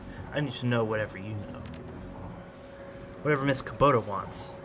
I didn't realize Coyote was missing. She said she was expected to encounter some kind of paranormal animal at close range. I recommended the Ares Predator, but she couldn't afford it, so she went with the Browning Power Ma- Max.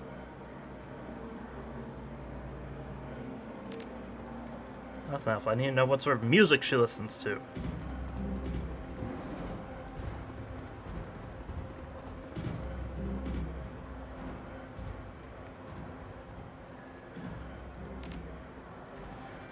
Uh, do you know if Coyote had a favorite band? Indeed, I do. She plays her Starfire records so loud you can hear them down here. I've told Mr. Clue that we have to turn that Drek down more than once. I can't even talk anymore. Starfire. She listens to Starfire.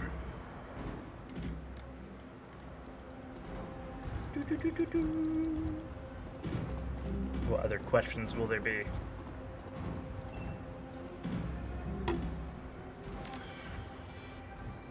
Oh. Shadow. Starfire. Let's just go with Chicago. Your password's been reset to NQPABDST for security. Never write down your password. Calendar. Three days ago, meet with Delilah about gig. Today, meet Paco for date at Pike Place Market. Due in 30 minutes.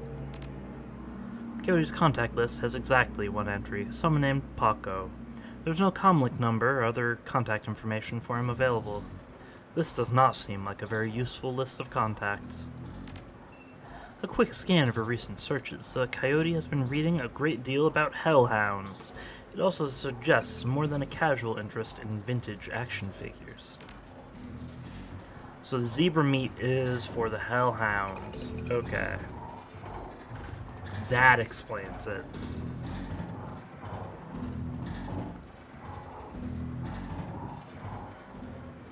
Let's go to the Pike Place Market.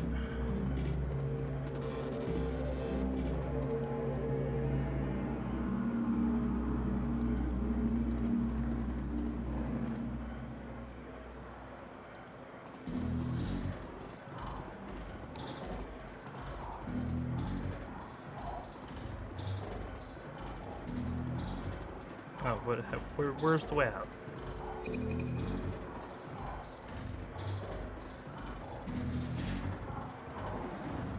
How do I get out of here?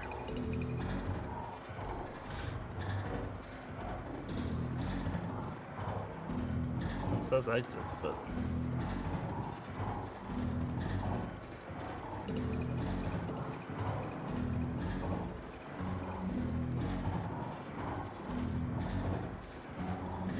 Okay, I can't leave. There must be something else I need to do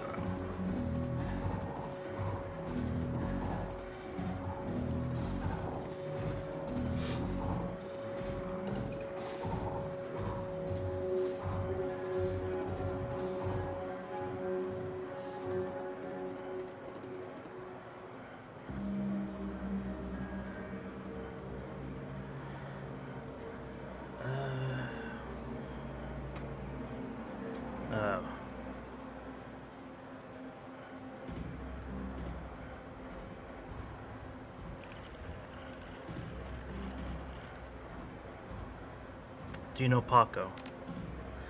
He's a ganger, a member of the Cutters. He's uh, Good.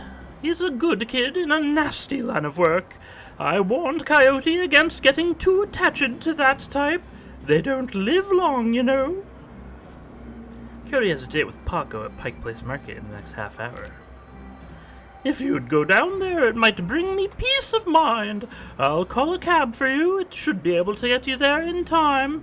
Gambate kudasai. Good luck.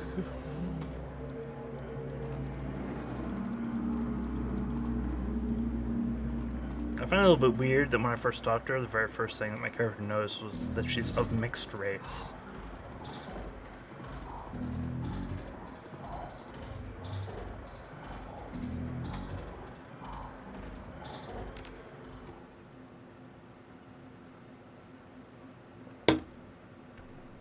Pike Place Market. You catch a tab. Uh, you catch a cab from Touristville to Pike Place Market in a mercifully quiet ride that takes you from probably going to be mugged to probably going to pay too much for your drinks. Compared to the urban wasteland of the Barrens, the downtown area is filled with modern buildings, lighted streets, and unbarred shops, all living beneath the shadows of massive corporate arcologies. For many, these arcologies are home. For others, they're hulking monuments to where the world went wrong. Famous for its fishmongers, Pike Place Market has been around since the early 1900s, overlooking the bay. Now it's a market for all things, legal and illegal, a melting pot of the haves and have nots. Even though most of the shops are closed, the sights, sounds, and smells of the market hit you from the moment you step out of the cab. I have to look for a delivery at my door.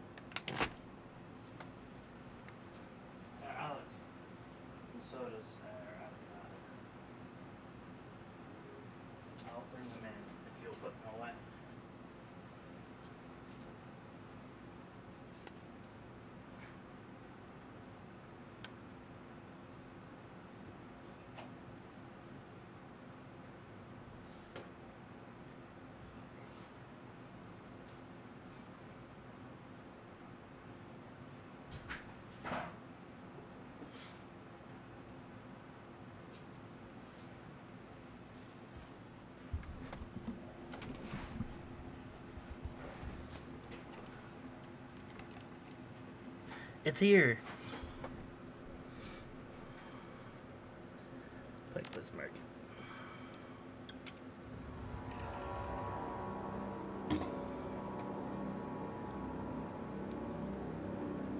Okay, so we have Patrick at the Universal Brotherhood.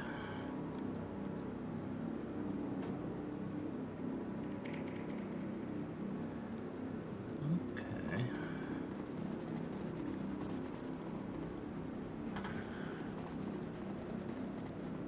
This way is blocked.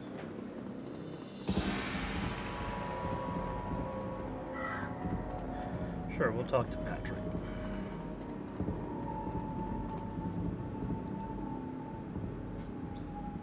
The handsome young man turns away from the crowd and fixes you with his full, completely undivided attention. Sir, you're a beautiful elf, but you could be so much more. That sounds great. Tell me more. Wonderful. The Universal Brotherhood is a family encompassing all metahumans, sexes, and sexualities. We all strive to be the very best we can, to live more fulfilled, happy, and productive lives, and to support each other in doing so. The first step is to simply come and listen. Tomorrow night, Lynn Telestrian will be speaking about the importance of family in the sixth world. Please join us tomorrow, and the secrets to a better life shall be revealed to you. He smiles and turns back to the crowd. What does this say? Tiddly Bits Junk Shop.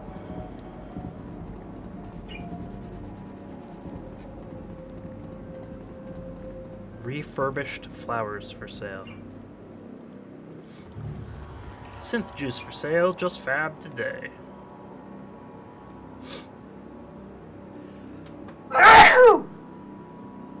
Excuse me.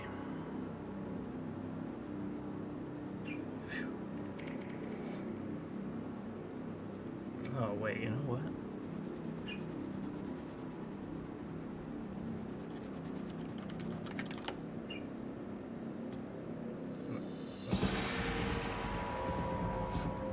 Not sure if I got everything that I actually ordered on my order.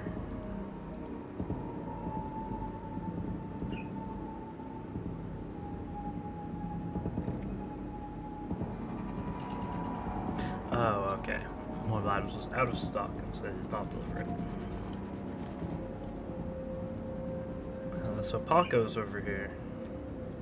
He's got a bat. Nerps! What are nerps?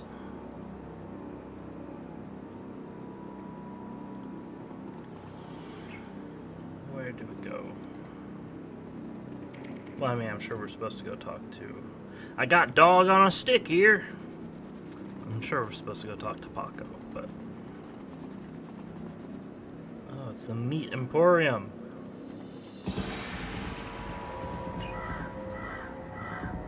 Officer Landers. Okay, let's talk to Paco first.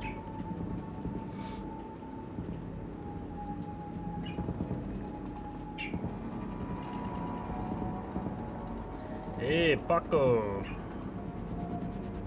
Hey, seen my friend around? Tall lady, dreads. So Coyote has dreads?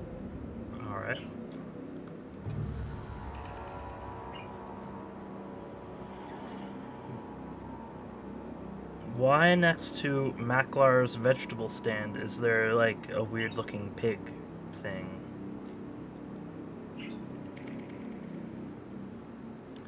The kid in front of you sports the trademark yellow of the Cutters Gang. Young, clean shaven, he stands like he owns the street and everyone on it. He seems distracted though, glancing around with increasing agitation. He looks over you as you approach. Hey, watch yourself, dandelion eater. What do you want? Careful, kid. You Paco? What the? Who the hell are you? I'm Baconator. I'm looking for Coyote. I need to ask her some questions. I don't know. We should, um...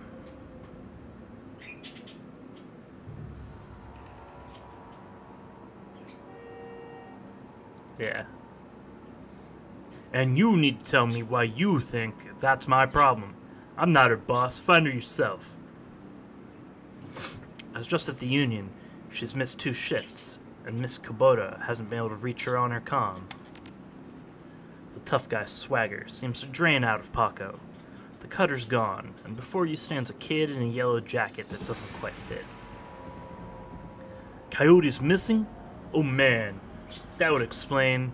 She was supposed to meet me here over an hour ago. Look, sorry for getting in your face like that. What else do you know? If she's missing, I need to find her. Ever heard of a place called Maury's Meat Market? Cody had a receipt for some zebra meat from there. What, you've been rummaging through her stuff? Yeah, that shop's just down the block. What the hell would she need zebra meat for, though? Beats me. Do you know a fixer named Mr. Delilah? Coyote had a meeting with him a few days ago. Yeah, I know him, sure.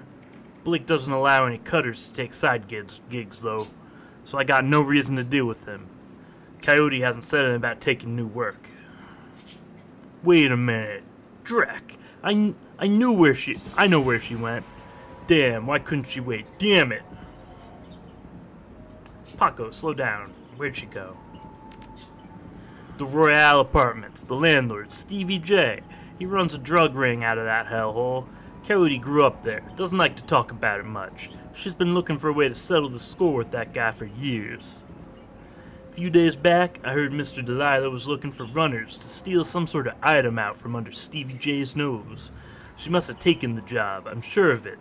And if his, thugs caught her, hmm, I'm I'm going over there. You coming?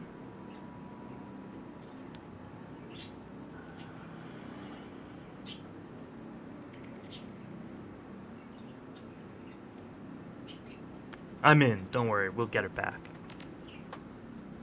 Damn right we will. Cool. Where are the Royale apartments? Where is objective marker? I don't know.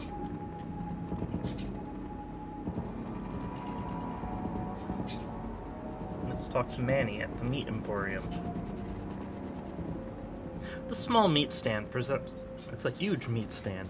The small meat stand presents an enormous diversity of dead animals, from cow and canine to the exotic and paranormal. The pictures on the back of the stand feature a much older version of the man in front of you.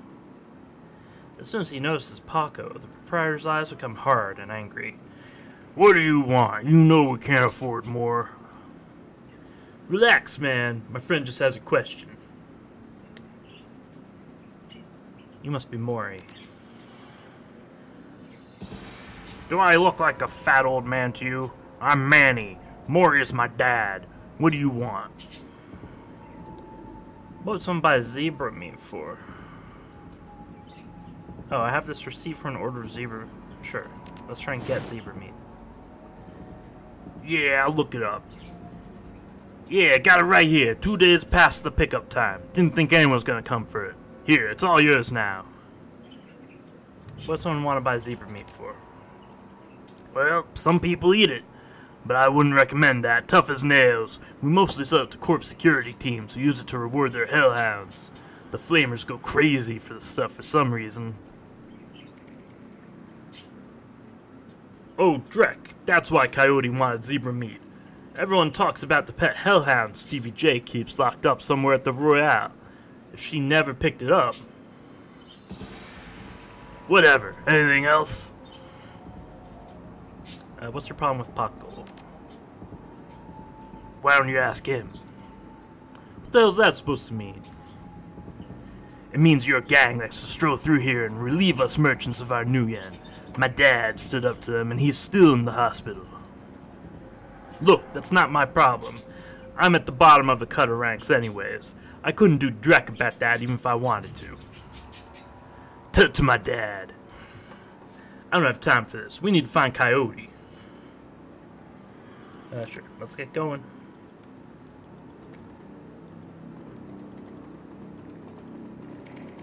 That's a cool bit of wall art. As your eyes adjust to the flashing lights, you spot the body of a woman dead on the pavement behind the poli- police line. Panic spreads across Paco's face. Oh no! Oh no! Is that Coyote? This ain't happening. God damn it! Paco, breathe. Take a closer look. Is that her? Paco steps forward and breathes a huge sigh of relief. No, no, it's not her. Thank God. Look, let's not hang around here too long, alright? Too many Lone Star pigs around. It's too bad. Whatever happened here, I'm not gonna let anything like this happen to Coyote. Okay, let's, uh, we'll talk to the pigs. Another Ripper murder. Oh. Oh. A tall, emotionless Lone Star officer blocks entry to the crime scene. Behind her, you spot the lively face of the organ grinder coroner, Dresden. This this is an active Lone Star investigation. Please step away from the bar- barrier. Detective Baconator, Auburn Precinct. We have reason to believe the victim may have been involved in an illegal BTL smuggling ring we're investigating. I'd like to examine her belongings for evidence. Badge and SIN, please. It's all right, officer. He is with me. Okay then, make it quick. Lying on the pavement is the body of a young human female. Her eyes have been gouged cleanly out, and you notice a string of bite marks along her left arm. So, what brings you out here? Hot on the trail of the dead man's killer? Hardly. She another Ripper victim? Yes, that's what it looks like. As you can see, the Ripper went for her eyes this time. Pretty clean work, I got to hand it to him. Our Ripper knows what he's doing. Or she, I suppose.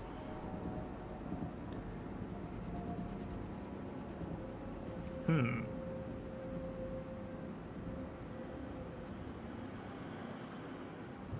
Any sign of magic use here? There was evidence of an unusual explosion in the alley where Sam died. Now there's an interesting thought. No, nothing obvious, though. I'm sure when McCluskey shows up, he'll call on a full magical forensics teams, though. Just to be sure.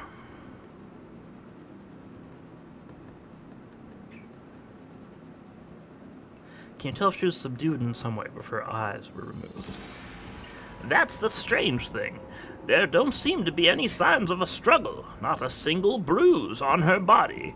Yet she was clearly alive when the eyes were taken. Died of blood loss shortly thereafter. That's what knocked her out. I wouldn't know until I can run some tests back at the lab. What about the bite marks?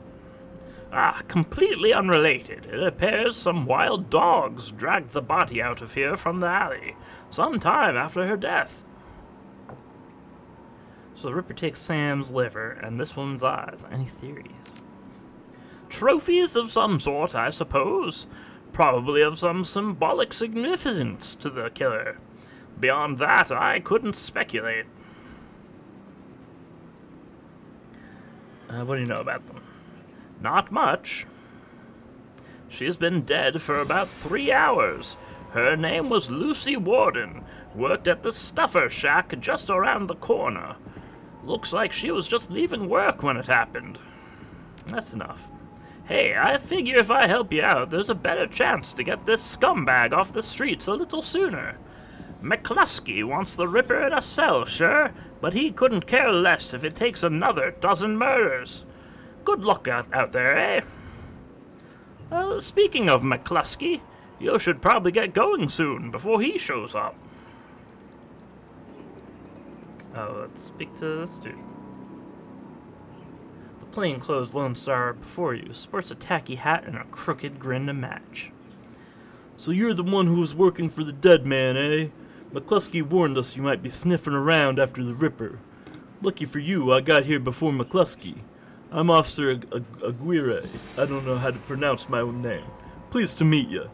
Now, seeing as this crime scene's going nowhere fast, what can I do for you? Uh, I take it you and McCluskey don't exactly see eye to eye. Let's just say McCluskey and I, we have, uh, you know, conflicting interests. Any leads on the Ripper I should know about? Huh, plenty, if you ask McCluskey, but the truth is we're as clueless as you probably are. Yeah, this guy is uh, useless. Thanks for your time. Hey, hold on a minute there. You haven't put in a donation for the Lonely Orphans Fund. The Lonely Orphans Fund? Yeah, you see, you make a contribution to the next fund, I put you on a list and let you know the next time we find any, you know, orphans you might be interested in. Well, I'm always interested in finding out about any new orphans you discover. Excellent. Shall we say 300 million? Sure. Excellent. I'll start an account for you. We get any useful new leads on the Ripper, I'll give you a call. Now I better be back to work before McCluskey shows up. See you around. Let me know you have any, any new orphans. Gotta love the orphans.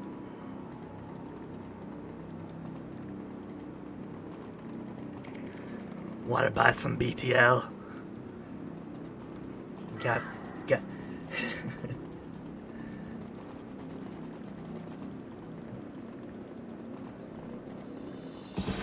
it's like a BLT, but you make it in the wrong order.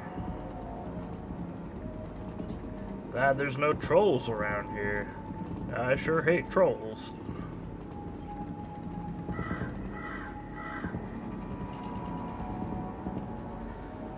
So I take it this is the Royale. A junkie and Frank. No way, Blind Lucy?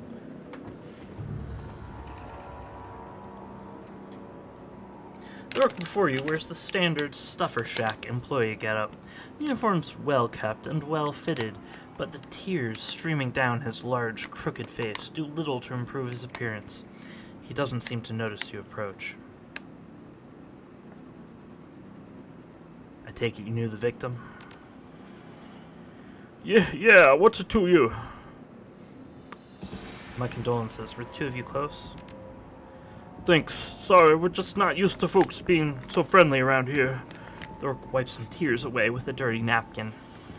Yeah, yeah, we, we were pretty close. As as co-workers go, Blind Lucy and I worked here at the shack for three years together. Started on the very same day.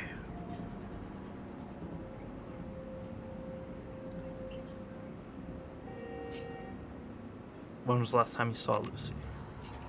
Here at the shack earlier today, I I think she was heading to the market to meet a friend. Hell, I was gonna join her on my way home, but we got some last last minute customers. Did she have any enemas? Any enemies? Well, well, I'm not I'm not sure. I know she had an, an ugly breakup with her boyfriend after getting those new eyes put in. That guy was pretty upset for some reason and, and wouldn't leave Lucy be until she filed for a restraining order. That all seemed to die down a while ago, though. Seen anyone strange lately? I see weird stuff every day. It's a stuffer shack. But no, nothing stranger than usual. But Lucy wasn't completely blind, but she was legally blind. She had to wear these huge glasses and hold things right up to her face. But she got new eyes about a year ago.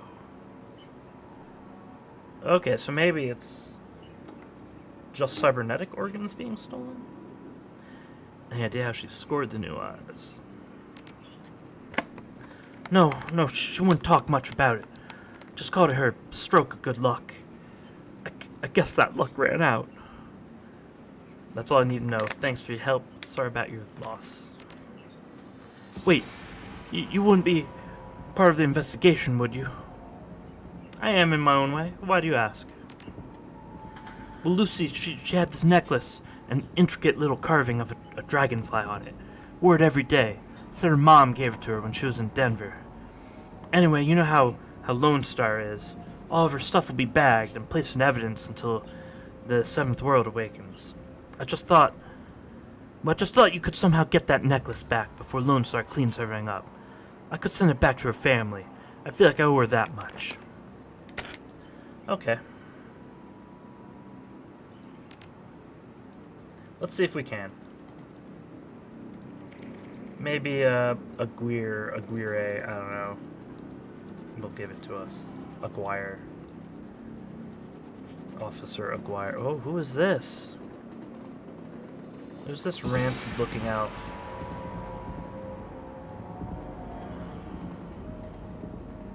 You scan the ground near body, near Lucy's body spot a small wooden object, mostly hidden beneath the dead woman's hair. This must be the necklace Frank was talking about. A thin, broken cord trails off to one side. It must have snapped during the struggle.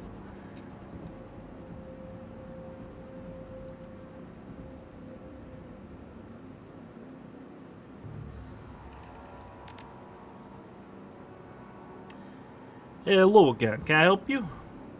I need to take the victim's necklace with me. It may help in my investigation. Well, if it'll help you, that means it won't be helping McCluskey. He reaches down, picks up the necklace, and hands it to me.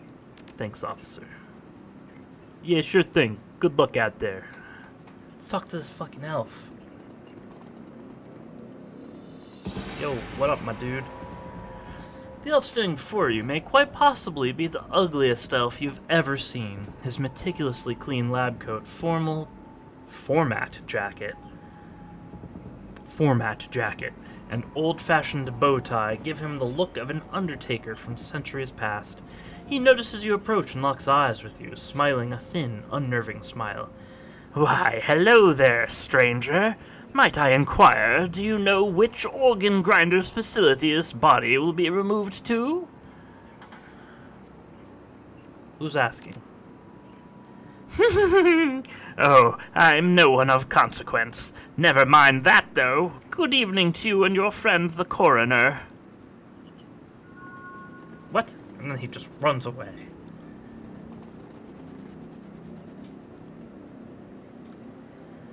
Need something else? Any fascinating new leads? Did you notice a particularly ugly elf standing over there earlier? Hmm, where? He's gone now, but he was asking about the body, wondering which organ grinder's facility it will be taken to. Interesting. Well, there's those who might be interested in purchasing some of her parts, sure. But that's pretty poor form to inquire at the site of a murder. An ugly elf, eh? I'll keep an eye out. Shouldn't be too hard to spot if he comes back. Yeah, anytime. Cool, let's go. Let's go.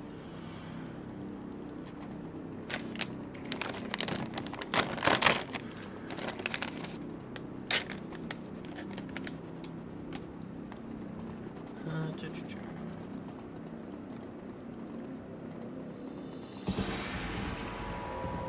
Let's give this dude his necklace.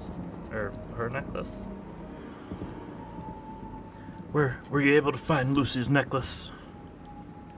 I've got it right here, Frank. You can send this to her family. I'm glad I can do this much for Lucy at least. Thank you, friend. I truly owe you. Just make sure that gets to Lucy's family. I don't want it turning up on some Lone Star office with my prints on it.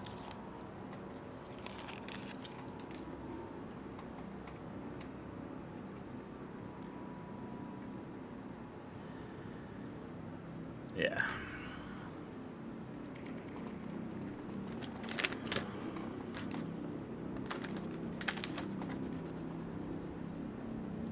Let's put those in the fridge. Talk to Junkie. We'll probably have to fight him.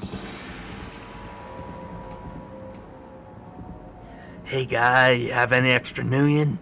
Just need some sucrozoom from the shack over there.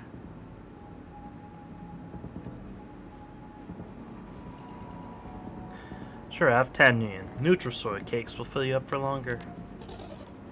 Thanks, chummer.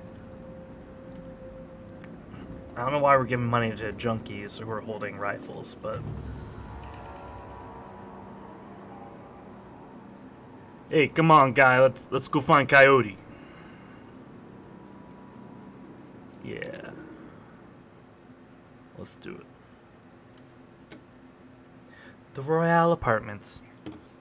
You roll up on the most impressive bit of tenement squalor you've seen in a long time. There's few st- street lamps here, and what light there is flickers with uncertainty. Most of the buildings are damaged and tagged. The smell of old, rotting trash mixed with you don't want to know is overwhelming. It's no wonder people living here turn to BTLs. Anything better than this. The better than life chip is the newest drug on the market. You don't need a good life, you can slot someone else's, live through them, and wreck your brain in the process. The front doors of the Royale apartments aren't even locked. As you step inside, you can hear a junkie crying for another hit. It's time to find Coyote and find out what she knows about the night of Sam's murder.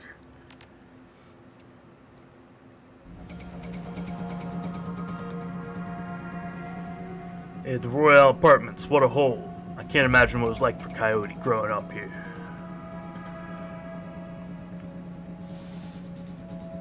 Hellhole full of junkies. Looks like Stevie J gets their rent money and their drug money. If Coyote's here, we'll have to hurry. She's good, but well, these BTL guys pay to stay well informed. They may have known she was coming. Um, Tweaker sad old man. Stay you. The woman scratches herself like a cat at a couch leg. Please, can you spare some Nuyen? My credits, uh.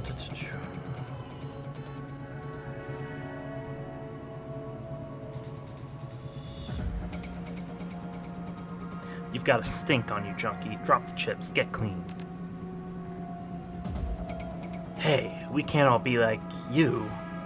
Please, I just need one BTL to get through the day. Two tops. What do you say? That doesn't sound like a good idea. Have you seen a woman that came through today, armed and looking for trouble? Yeah, no! Hell, what do you want me to say? I'll tell you anything, everything, please. She drops her knees, pleading. I'm sorry, but I can't help you. You should leave this place, if you can. But, that doesn't make sense. The BTLs are here. I just need something. She collapses, whimpering, and seems lost to this world.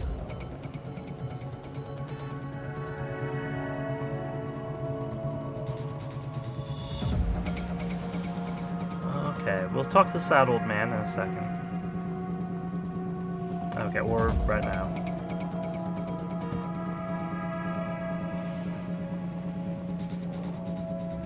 Like a lazy pigeon, he watches you approach.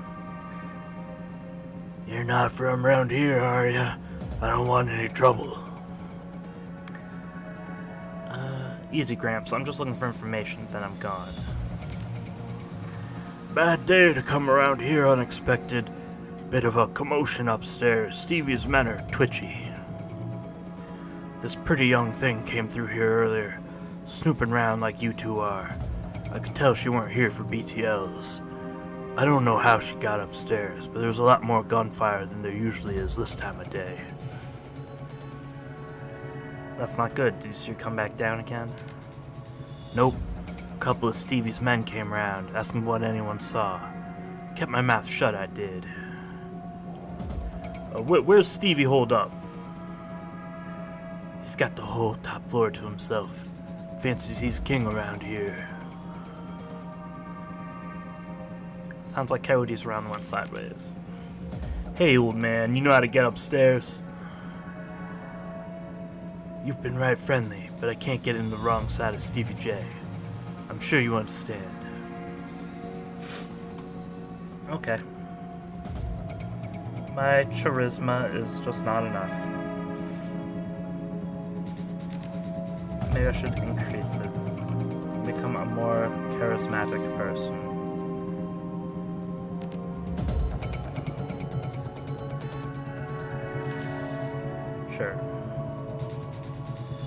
I'm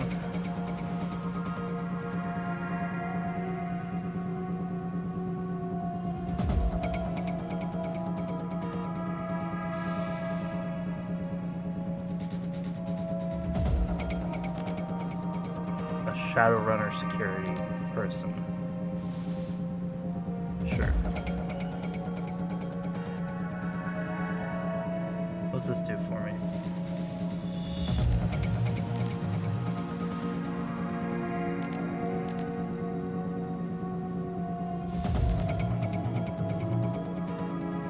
To equip two drones. Well, I, I don't need that right now.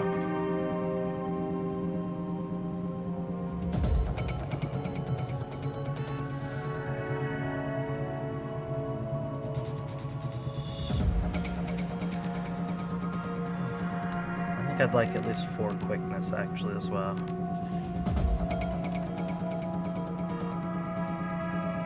I can't talk to this guy again now, right?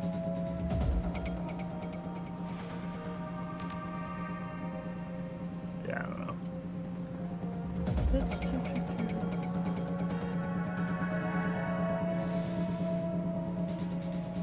There's a hole in the wall. Okay. The wall's crumbling here. Through a hole, you can see a rickety stairwell.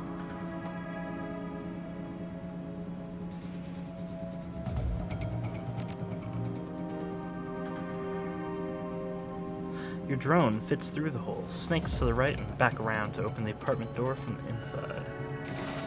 How wooed!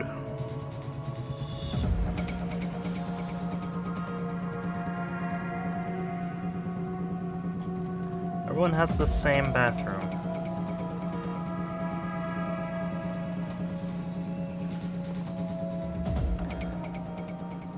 Once we go upstairs, I'm not leaving until I find Coyote or I'm dead. You get it?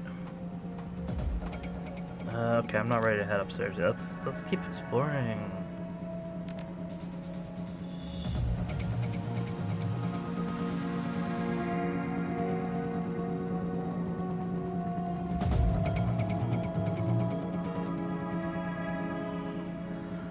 Stop your pleading. Your boy has debts and we're collecting. it's a sim. Please, Riker. No, he's my son. Whoa. Get your ass back in your squat before I break something else. I'll send him upstairs instead. You want me to give him to Stevie? Maybe after he kills that girl we caught. You pig, give Zipper back now, or... Or what, you'll bleed on me? Zipper's gone. Get yourself a new kid. Oh god, no, please, no!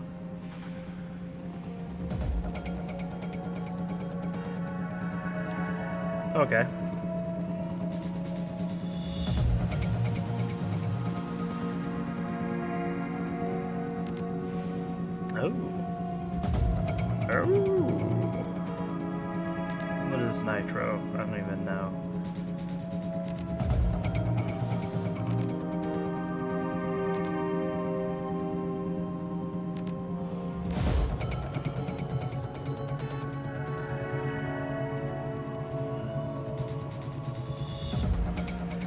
My home. Get out. What was that all about? Why do you care? It's it's my son. That bastard took my son. Who took your son? One of Stevie J's goons, Riker.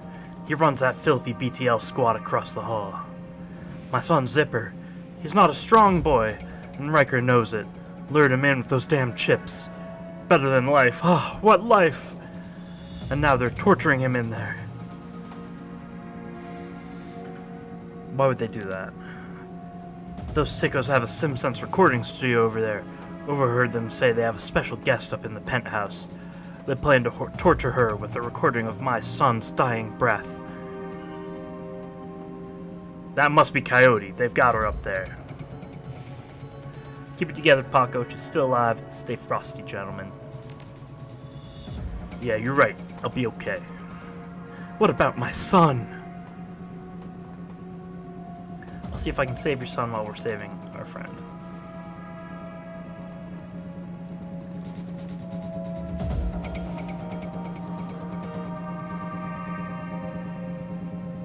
An elevator gleams.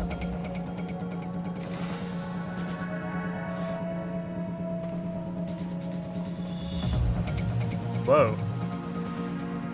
BTL junkies twitch in the throes of their sordid dreams. At least as long as the creds are good.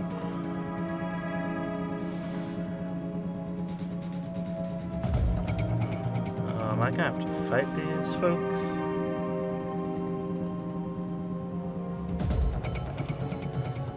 Yeah, I should probably come in from the other side.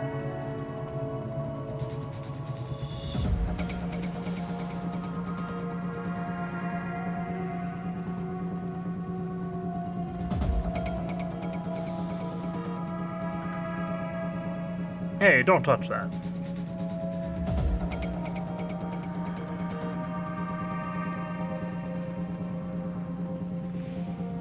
Yeah, we're gonna have to fight. Haven't seen you before. Looking to go somewhere special? A scream echoes through the pipes of the rotten walls. Hard to tell where it came from. Heard you're in the middle of a recording session. Sure am. My gear's state of the art, if you can believe.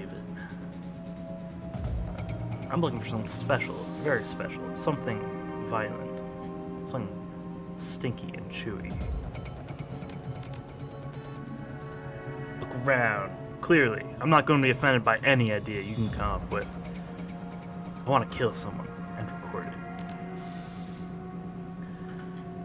Wow, you're one sick bastard. I like it. Perfect timing, too. I could use a trigger man for a little project I've got going. Come with me.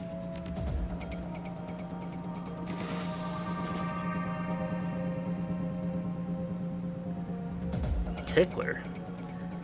Who's this, Riker? Can't you see I'm busy here? This guy, he has exotic tastes. He wants to help us out, and he's willing to pay for the privilege. That and a copy of the recording. Well, as, as, as long as Mr. J gets what he needs, I see no reason we can't make a little extra at the same time. I think young Zipper here is just about spent. Now, just give me a moment to hook up a recording rig to our little friend here, and we'll have quite the BTL for his personal collection.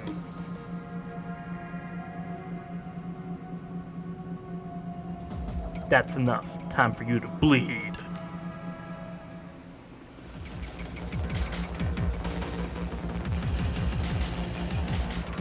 So have Riker and Tickler. Are these zombies going to do anything? I hope not.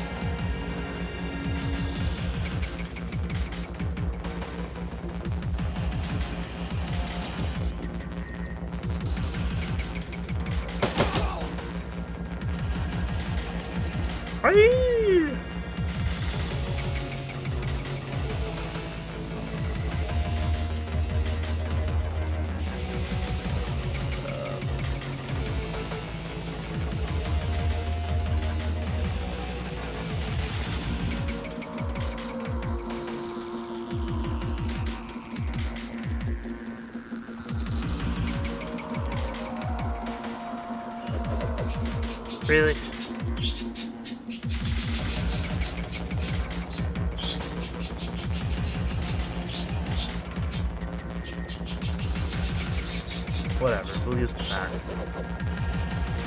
Oh my god, really? No!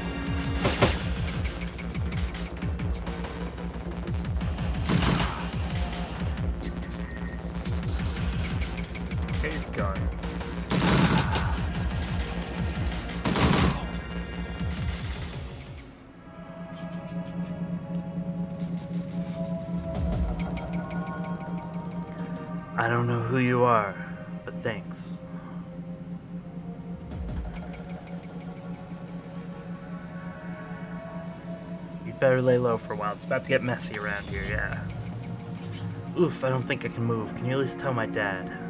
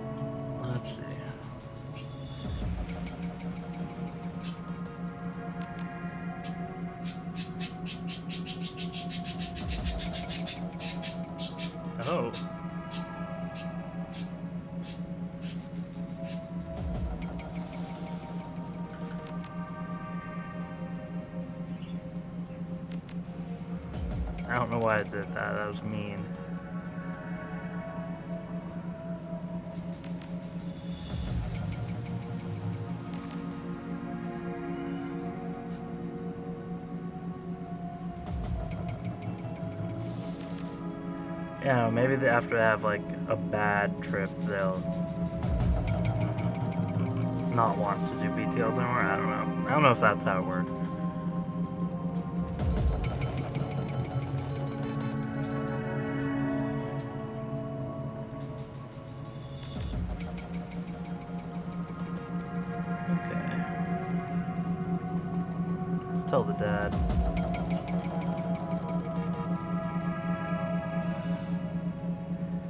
Saved my son yet? Zipper's okay. He's pretty messed up, though. I don't know how to thank you. You can just say thanks.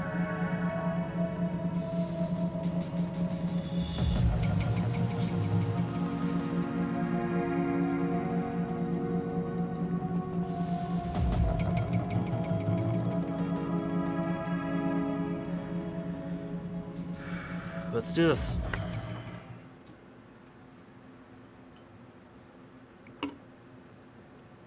Stevie J's penthouse apartment might have been nice at one point in time. Classic, even. But now it's filled with neon tube lighting, broken down furniture, piles of rubbish, and crates containing who knows what.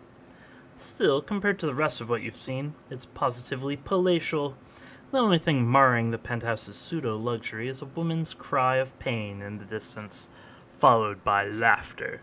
Someone being tortured for another's pleasure. You step deeper into the apartment.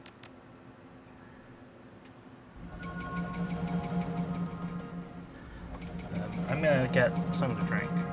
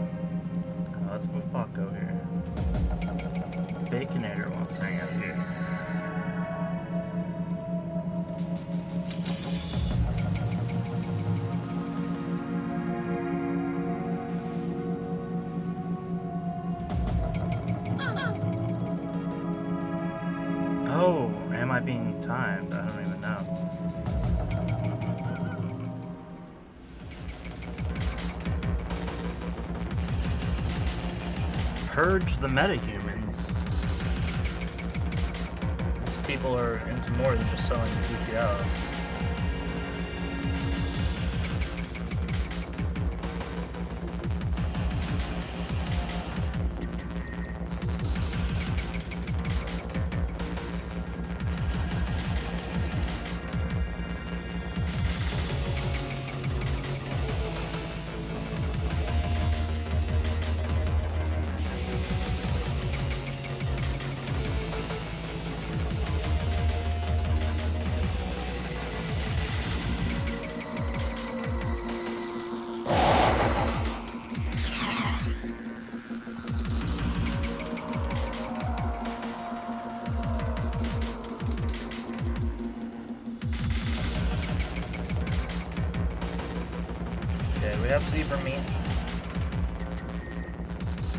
Zebra meat through the bars.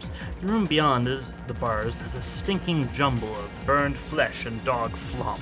An enormous hellhound, its fur streaked with whip marks, growls low. The eyes of a second hellhound burn menacingly in the corner. The hellhounds devour the zebra meat in a few massive bites, and they let out a contented growl.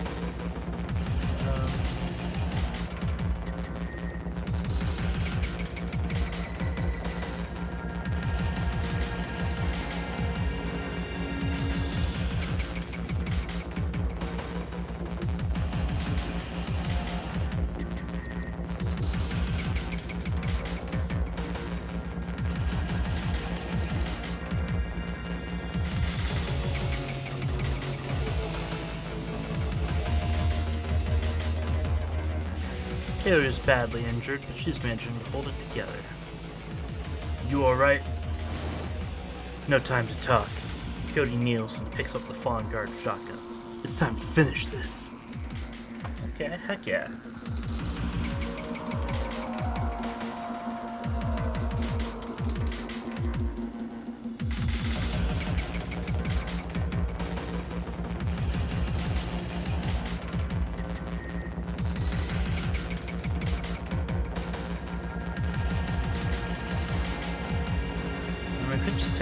Elevator out. I guess we won't be able to loot the place if we do that.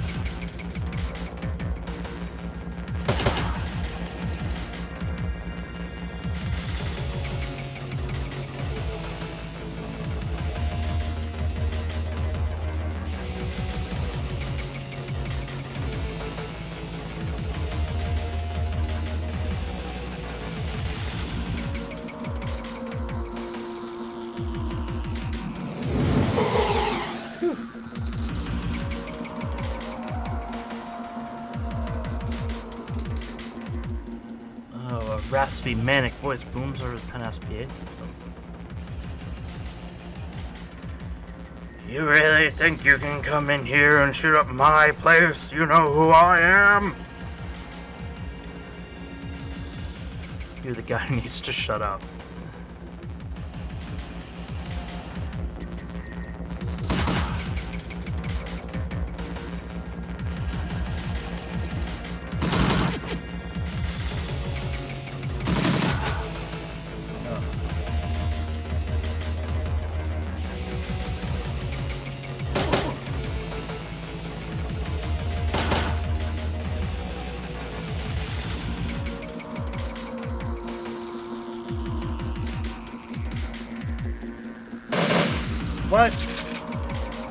How did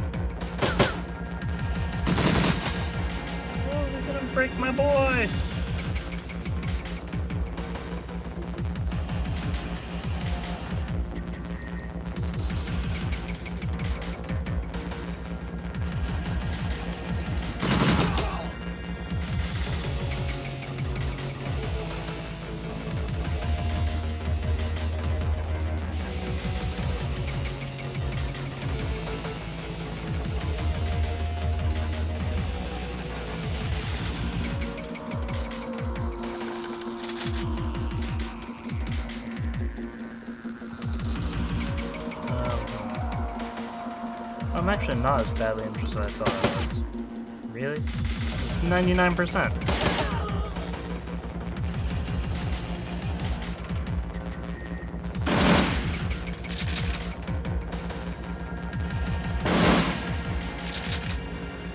No, I can't. And with a bloody gurgle, Stevie J is no more.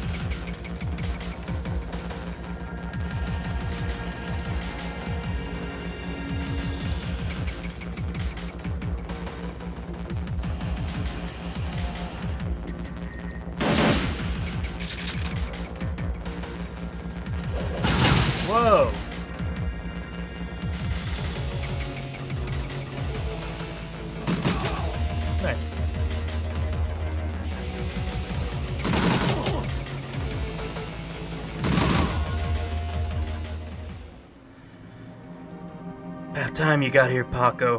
Who's your friend? I'm Baconator. I'm here to rescue you. Yeah, and who said I need rescuing? Well, I guess it turns out I did, though. Thanks. Coyote, we need to get back to the Union. Miss Kubota has that med lab in the basement. No. No, I need to finish the other thing I came here for. I need to find something for Mr. Delilah first, a stash of gems. Delilah? Uh, I thought you'd never do another deal with that man. Look, Paco, I needed an excuse to come back here and settle some debts. Figured, figured I might as well get paid for it. Paco, help her get back to Union. I'll find those gems. Sure. Come on, Coyote, let's go. They call me Old Gem Finder.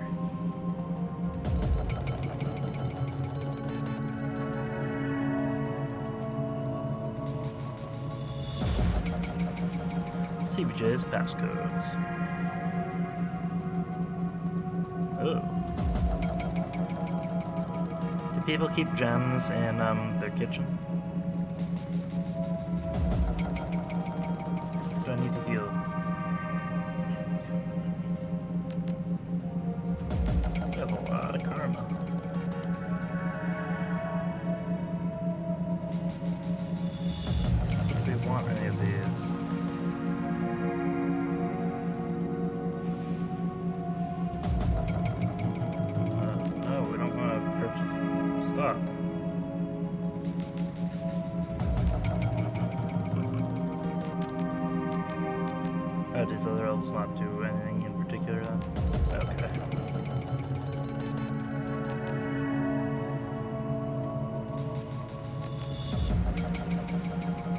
Like an additional weapon slot. Maybe I should give myself a little bit of ranged combat.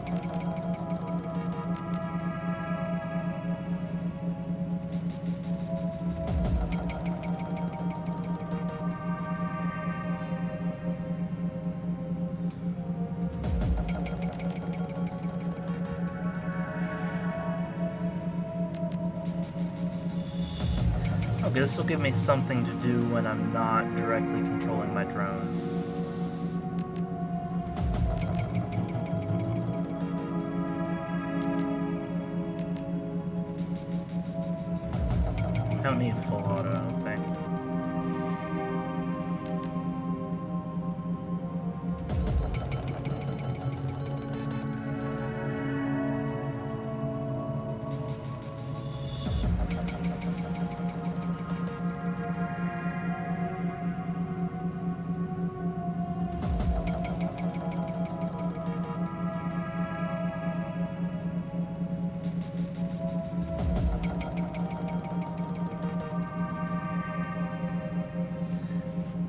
Biotech useful?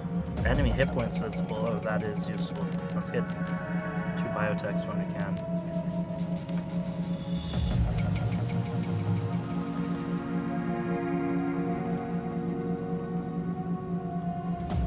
Oh, what is this? This is an elevator? I don't want to use the elevator yet.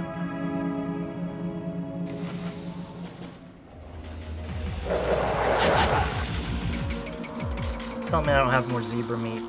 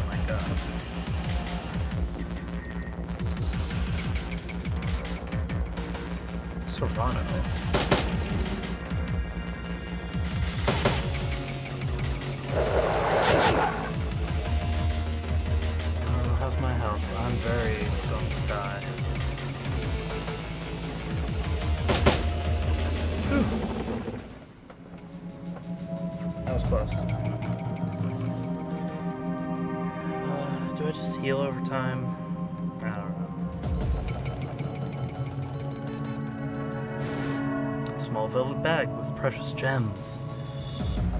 They're gems, Betty.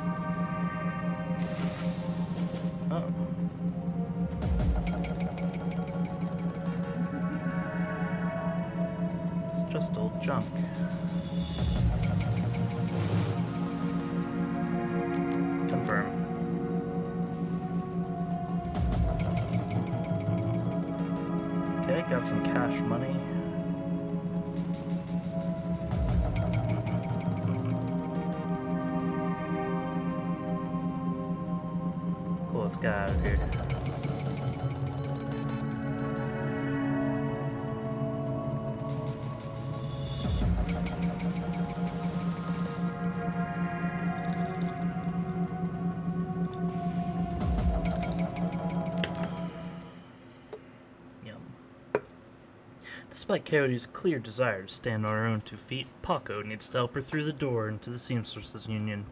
Heads raised, and the front room of the bar falls strangely silent. Paco stands by her side now, not speaking, his dark eyes flat with fury. Coyote presses a rag to her clawed up face. She winces but manages to keep control as she breathes in slow, deep breaths to manage the pain.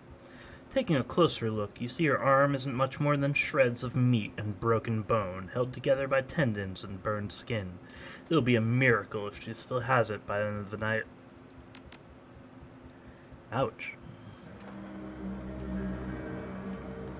Miss Kubota is tending bar herself when Paco walk carries the mangled and bleeding coyote into the union. As soon as the boss lady lays, lays eyes on her missing bartender, the place gets quiet fast. By the time she rounds the bar to meet you, Coyote is the color of wet spackle, and there's nothing new in her eye. Oh, and there's something new in her eye fear. This woman has faced down hellhounds, but the sight of Mrs. Kubota has her staring at the floor and mumbling. Woman, how dare you miss two shifts and then come back and bleed all over my floor? I'm I'm sorry, Miss Kubota. I had a run that went bad. Soka, I can see that. Your arm's a mess. Was this your crusade again? Don't answer. It will only upset me further. You caused me to worry about you, Coyote, and that distracted me from business. Hi, Miss Kubota. My apologies again. Cherry, take her downstairs to Dr. Castle. Yes, ma'am. And tell Castle to put something new and shiny where that arm used to be. Miss Kubota, I can't afford a cyber arm. I'm aware of your financial situation. When you're healed, we'll discuss the concept of Giri, the debt of honor. Now, go. Bleed elsewhere? Yes, ma'am.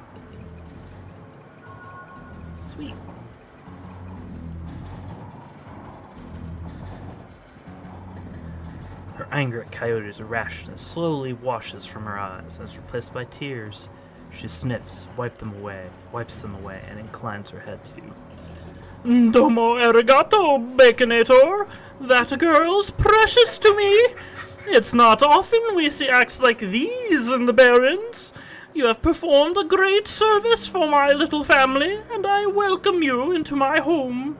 Consider it yours while your work keeps you here. But we both know that words are mere air. Beyond my thanks, I offer you remuneration. Please take it as a show of respect.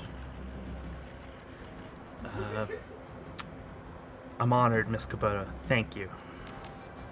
You are most welcome, and I offer more than simple lodging. You will find that there's more to Union than meets the eye. Below us is a small facility exclusively for discriminating independent operatives like yourself. In it, you will find vendors selling the best gear the black market has to offer, a fully equipped cyber dock, and a secure place to rest when the drek hits the fan, as they say. Uh, my, you're quite the entrepreneur. Indeed. Normally, I require a percentage of the runner's income for the use of this facility, but as I said, you're family now. Consider it on the house.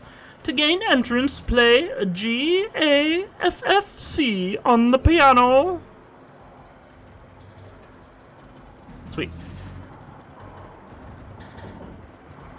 Play NERPs on the piano.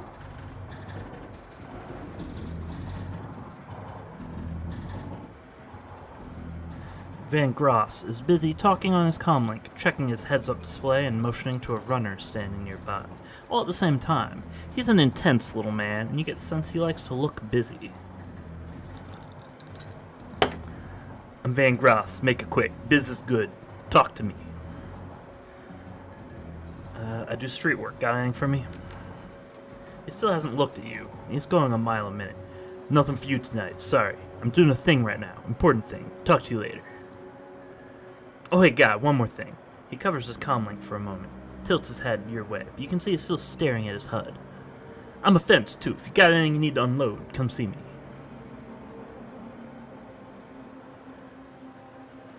Nerves.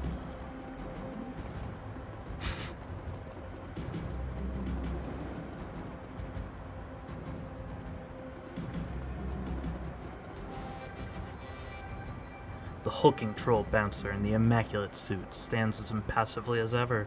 The absence of dust on his broad shoulders is the only real indication that the man ever moves. He nods to you when you approach.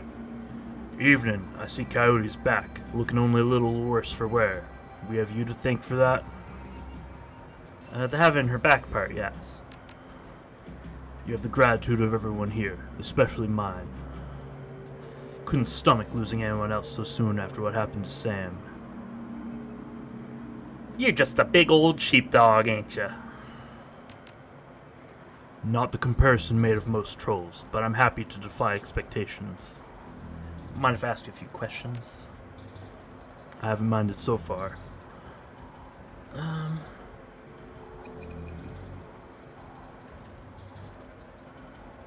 You hear anything else about Sam's death? People are saying it was the Ripper, but people say a lot of things about what they don't know and what they don't understand. I should be going. Let's go check out our fancy new shopping area. Oh, wait, wait, we can talk to the cleaner. Johnny leans on a seemingly new mop and surveys the crowd at the Union. Thanks for the tip of the other day. Miss Kubota said I should go to the safe house, but I don't quite know where that. I do know where it is. What all these options make it sound like I don't know? I just need to play on the piano. Yeah, that piano there's a little bit tune. Better check it out. Sweet. G A F F C. As you slowly peck the notes out on the keyboard, they spark a faint memory of wonder, immediately forgotten as the entire piano slides to the left, revealing a hidden staircase. You descend the stairs into Union safe house. Or do you? You do.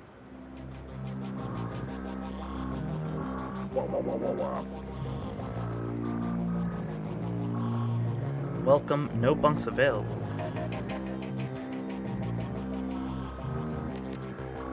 Oh,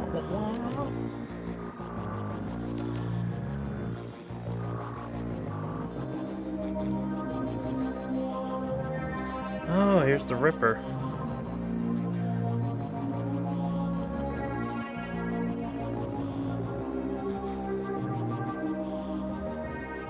Make it quick, need to operate. Thanks for helping me out back there.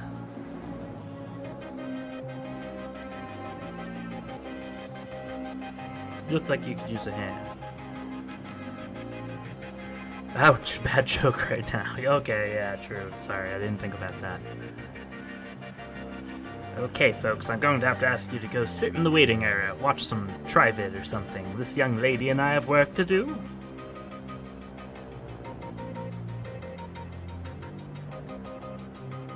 Uh, we'll ask her questions later. Take it easy, Coyote. We'll be here when you wake up.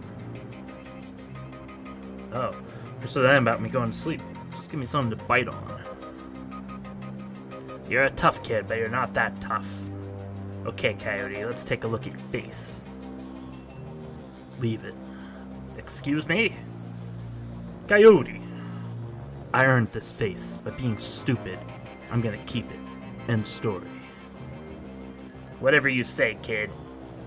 With one swift move, she sinks a syringe into Coyote's thigh. Nighty night. Wah, wah, wah, wah.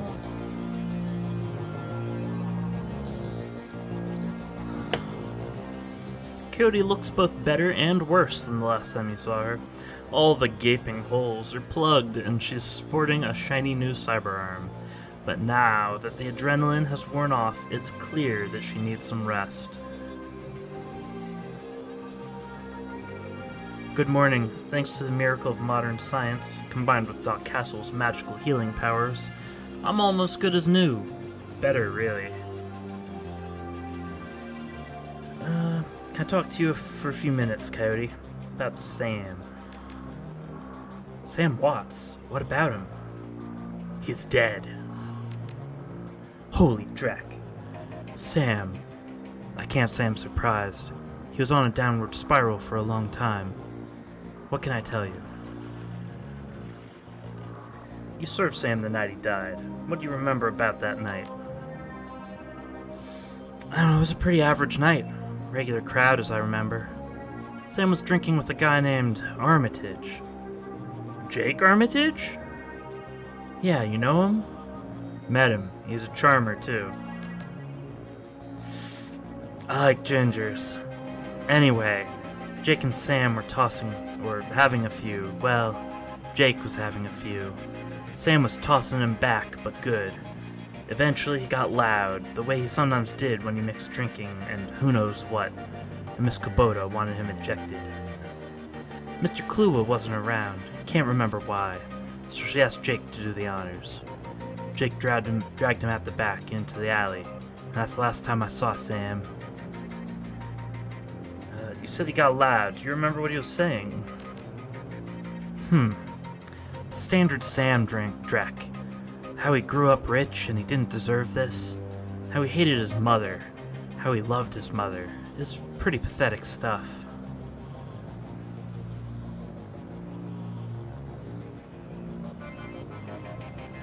How bad was his drinking?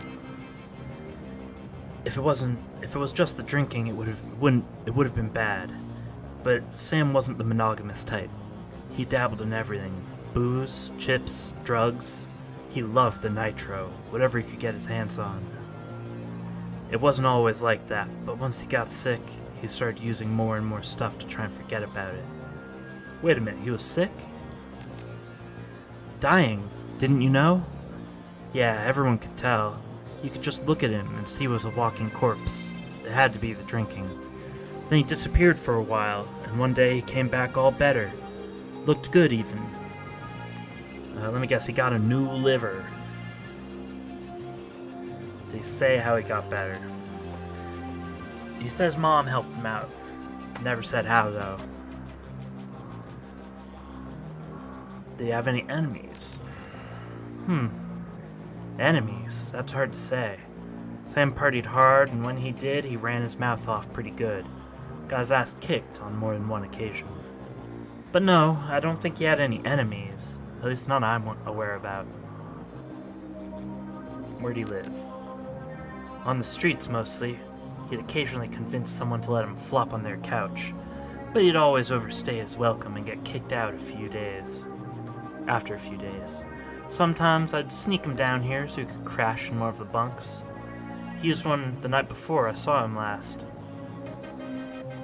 Tell me, I hear you liked him. I did. He made me laugh. No one else seemed to like Sam's jokes, but I did. Did you guys jam? Whoa! She smiles at Paco. Easy, lover. No, it wasn't like that. We were friends. I guess I knew him the best of everyone here. Sorry he's gone. Uh, well, thanks, Coyote. Now I need you to do something for me. What do you need, babe? I need you to talk to Mr. Delilah for me about the Royale run. He's usually upstairs. Tell him I didn't get the gems. Maybe I can take another run at it when I recover. Wait, I have the gems. Why wouldn't I... Why wouldn't I just give her the gems? What?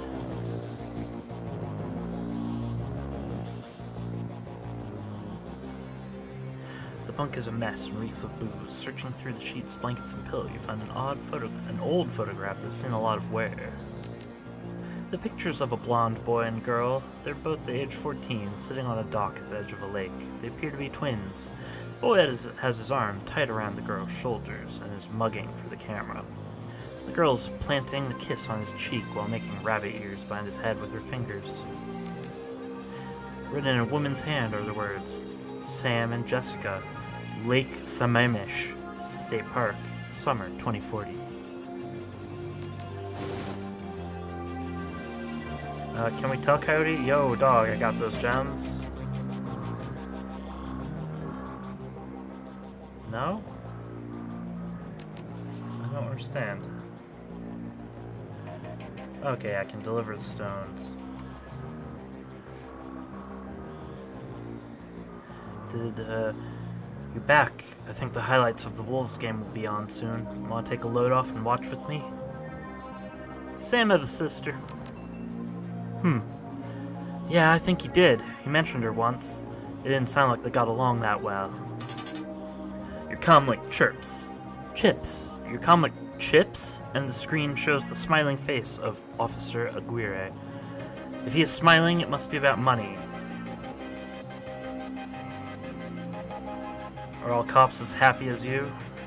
Oh no, I, uh, on the take. I don't want to. Officer Aguirre, what a pleasure to hear from you. Yeah, yeah, we're, we're buddies. Let's, let's go dancing soon. Listen, the Ripper he got a new one. The victim worked at the NTSB investigation facility down on the docks. You owe me for this. Put on my tab. You there now? Better get here quick before McCluskey arrives. Image on your PDA dissolves. Another Ripper murder? Where? The docks. I've gotta go. Okay, listen, I want to help. You dragged me out of the Royale before. Something bad happened. Worse than getting my arm torn off. And Sam was my friend. You hear? You head to the docks, and I'll see if I can track down Sam's sister Jessica. She might be able to help us.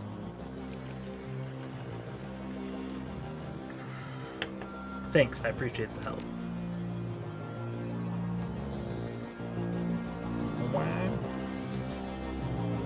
Let's, uh. In Shadowrunner circles, The term doctor is often used quite liberally to describe any sawbones with a needle and thread, but in the case of the Union's resident medical expert, nothing could be further from the truth.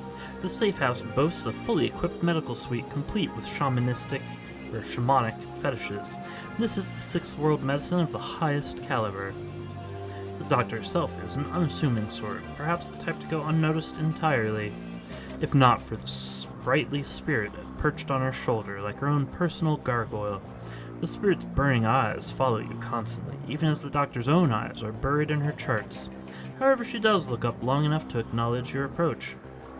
I am Dr. Castle. I understand you were instrumental in bringing Coyote back to us. Thank you for that. Null now fixing up her arm. That was a piece of work. Surprisingly routine, as it so happens. I can tell you're surprised to find a full service med bay under a dive bar in a slum. Don't be. This is a Shadowrunner bar after all. For a purveyor of cyberware and trauma kits, there's no better place to set up practice. I patch runners up, install and maintain their cyberware, and provide medical supplies for their runs. I may not be as mobile as DocWagon, but I'm the next best thing. Can I help you with anything?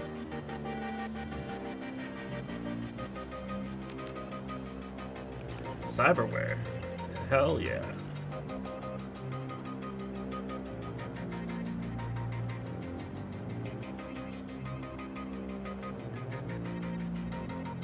Ooh, that's expensive.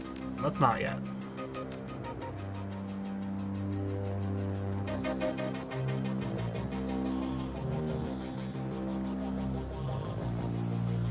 Uh, so Mersman here, he sells what again? Clothing? Yeah, change your clothes, change your life, right?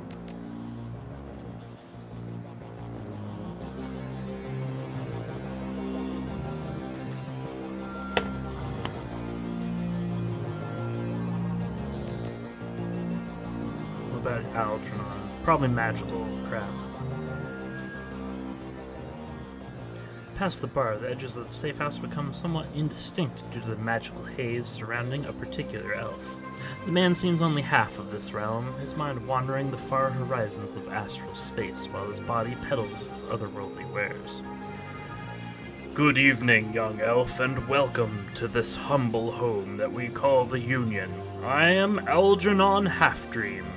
To ease your way through the sixth world, I offer you the best in magical foci, spells, and fetishes for the conjuring of spirits. Yeah, not my thing, dog. TJ Groverman, why, you sell guns? Ugh. Theodore Buster Grubberman is a well groomed ork, dressed with a precision that suggests the straight lines of a military officer's uniform. His hair is cropped short, high and tight, as they say.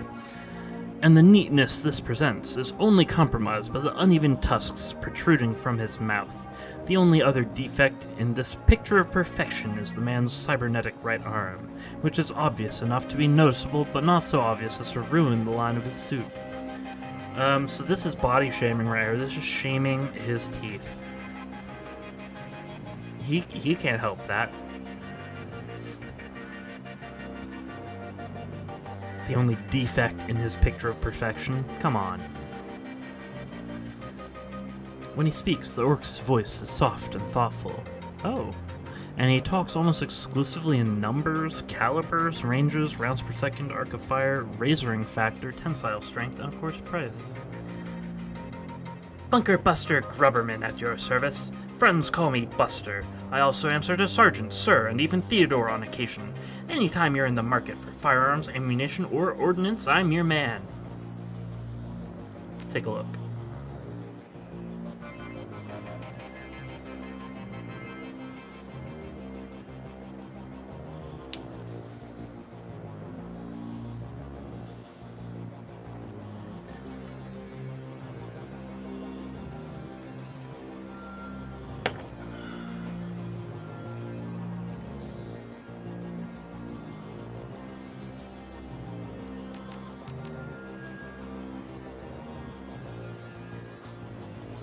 Yeah, I think I'm good. I'm just gonna stick with my AK-97. Nothing right now, but what do you sell? Do you sell cyberdynes?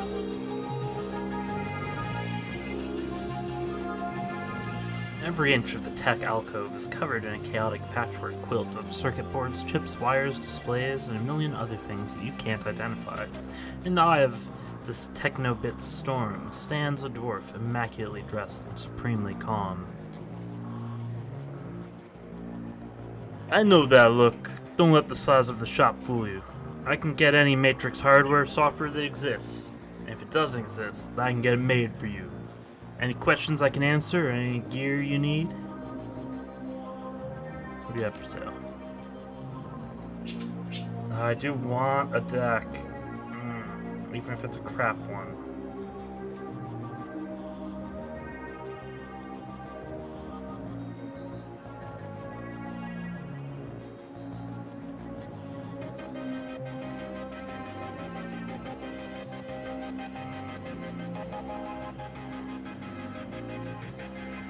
Oh, should I go for decking three? You know what? I think I might. Oh, oh no! I just skipped that. Well, in the same overalls you saw him in upstairs, down here, leaning over a workbench crammed with circuit boards, cables, and chips, Johnny Clean seems like a totally different person. You get the impression that Johnny was once as hot and as invisible as the most infamous deckers today. Good to see you down here. Happy to be of help if I can be. Uh, see you guys.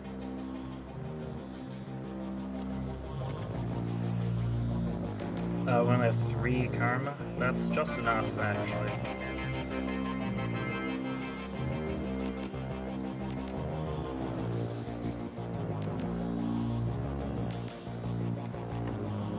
Oh, I did not uh, spend it.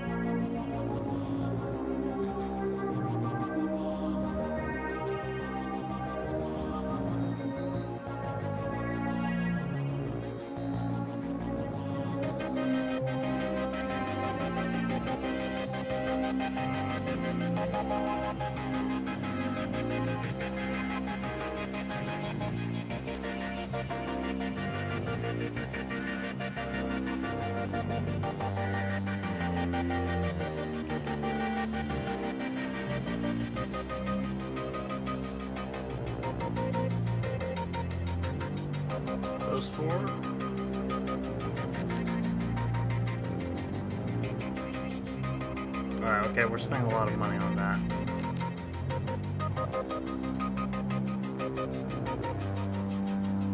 Oh no, can I... Okay. Nice.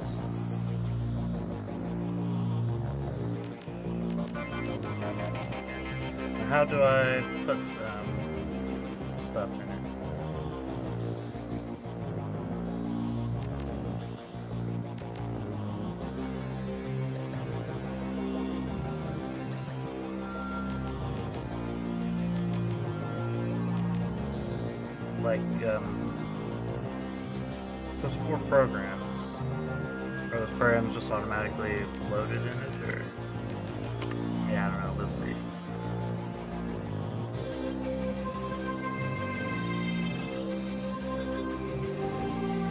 I've wasted all of my money. Let's, uh...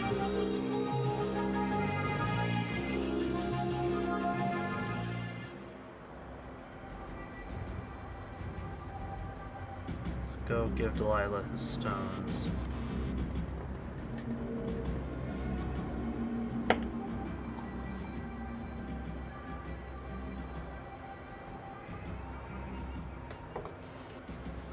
Mr. Delilah looks small and tough, with an untraceable shoddy on his back and a heavy vest under his trench coat. He's got the air of someone who gets things done, and occasionally does them himself. He might be an ex-runner, one of the rare ones smart enough to move over to management when he felt his reflexes slowing down. What do you want? Mr. Delilah, we have business to discuss. What business? I got no business with you. Uh, we're with Coyote. She's indisposed at the moment. At the mention of Coyote, he finally gives you his full attention. Why didn't you say so? Coyote is late, and my client's getting anxious. Where is she? Um, she's downstairs in the med bay. Got her arm torn off on the job. No kidding. Hmm. Well, whatever. She's tough. She'll pull through. So are you two. I'm Baconator. He's Paco. Great, we're all introduced. Now give me my stones.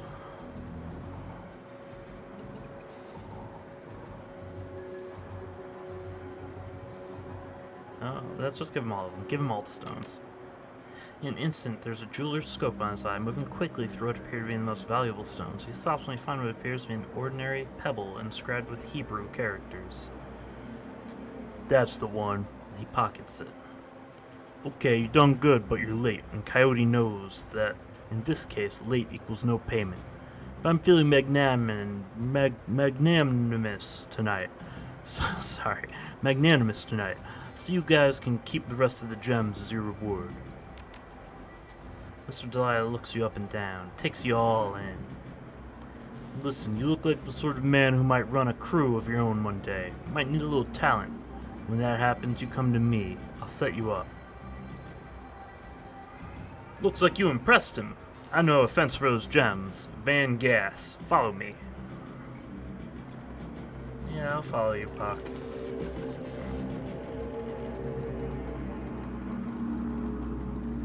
Van Gross, not Van Goss. Paco doesn't even know your name, Mr. Von Gross. Von Gross is fiddling with his cyber eye while noodling on his PDA. You're back, still busy. What's your story? I can see you're a busy man. That's right, and so I wouldn't bother you if you if I hadn't come into possession of these rare stones. Rare stones, huh? Let's see these rare stones. You hear the servos in Van Gross's cyber eye whir as the magnifying lens slips into position.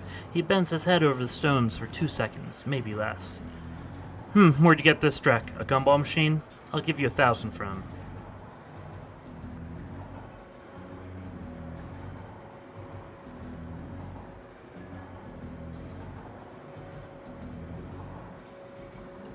You know what? Um.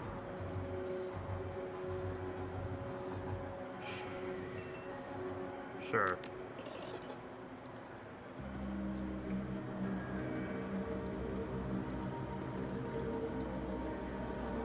I just need money right now to, in case I need it after spending everything on that cyber deck for no reason.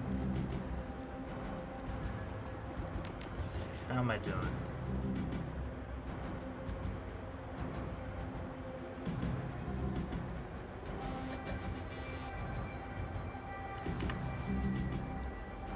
Let's just uh, skedaddle.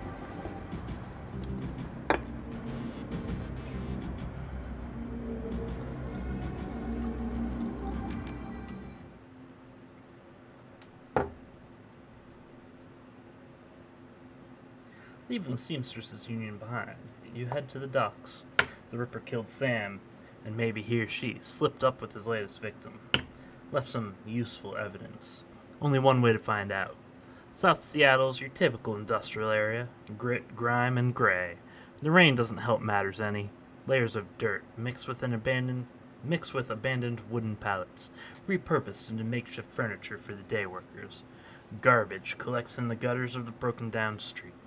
Disreputable is this district's middle name.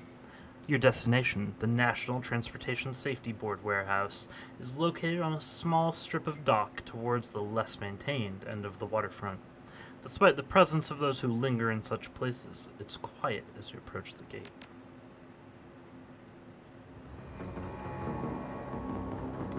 Um, hmm.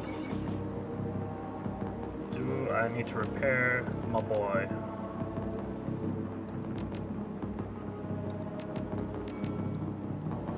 I don't know how.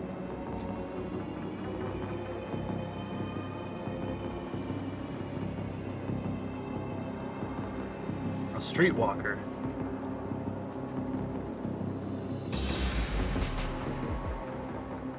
Hey, you looking for a good time? You know anything about the NTSB? yeah, the bums around here have been stealing old crap from that place for years. Not worth my time, though.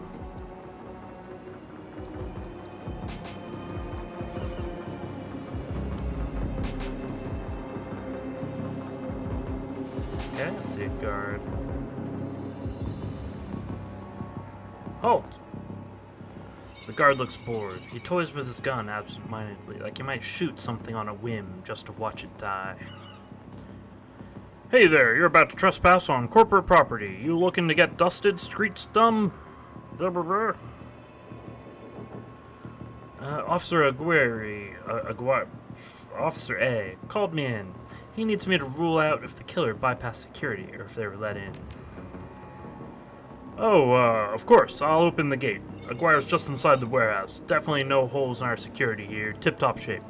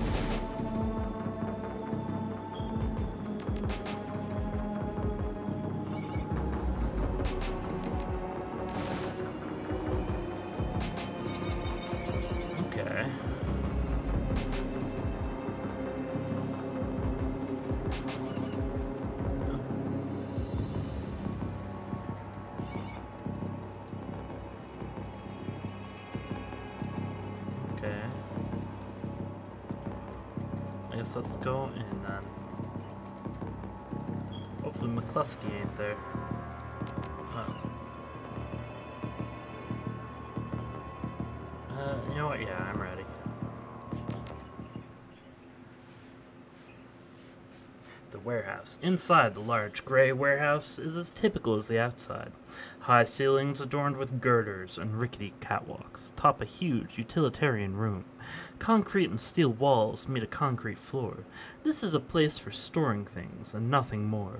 Despite the quiet on the outside, the inside is a hornet's nest of Lone Star officers going about their business.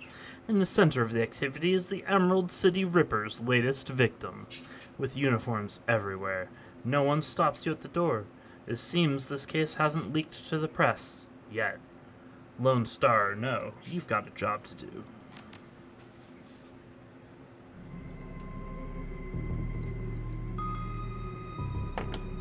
Is that McCluskey?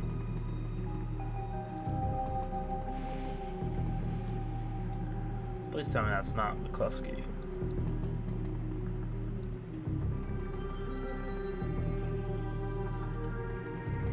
Let's have a look-see.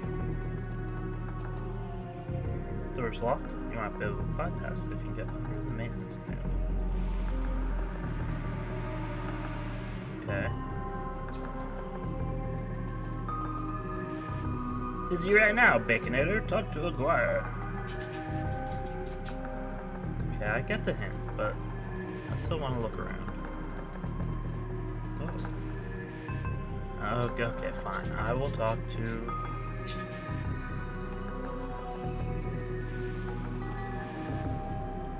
A good friend. Uh, took, took your sweet time, didn't you? You know the traffic these days, fill me in.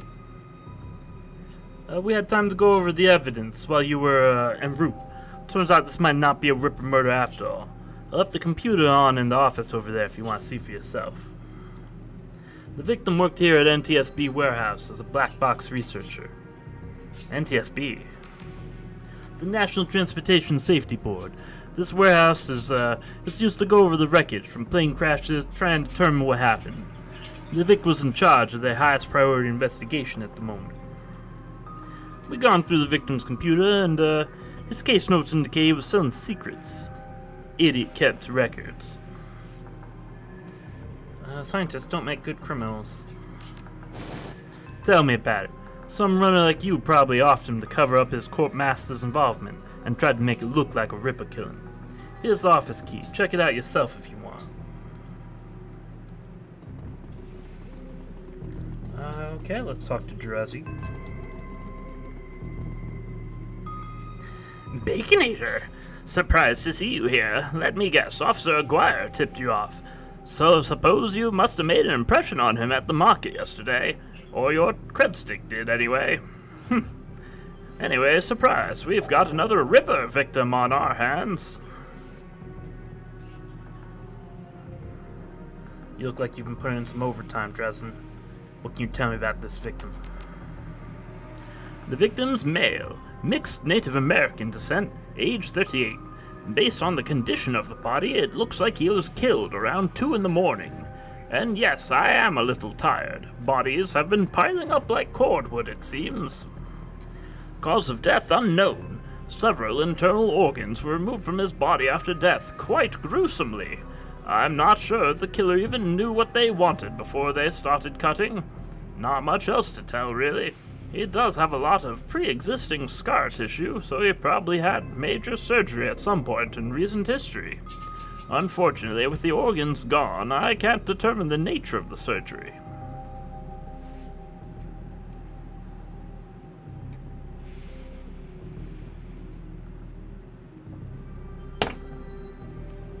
Nice hole where his chest was. So what on the butcher shop? So what was on the butcher shopping list? Well, the killer definitely took the lungs. The more I look at it, though, the other missing organs may just be eviscerated within the chest cavity.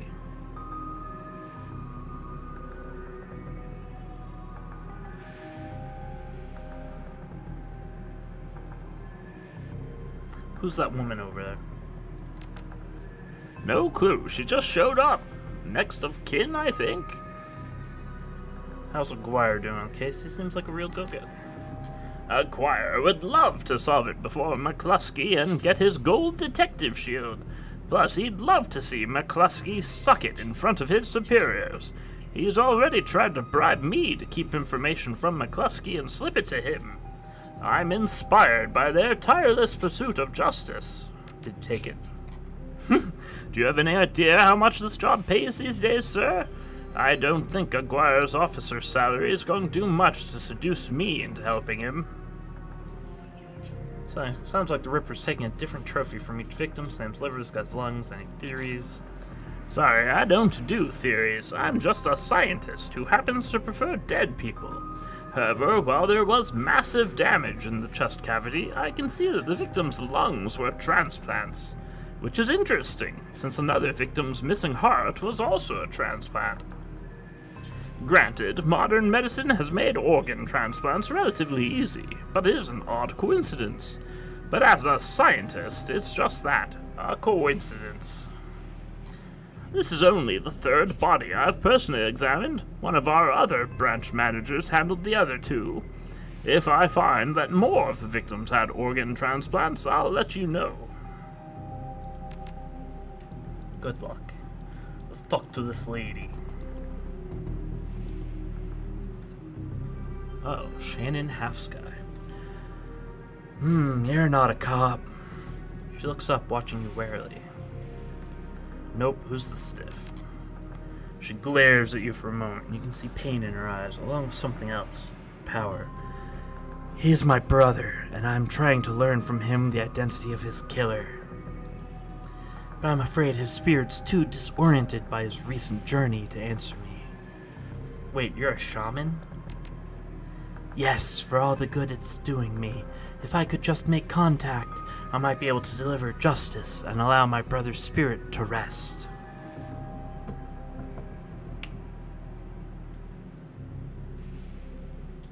I can tell you're used to shouldering a heavy burden, but maybe there's an easier way.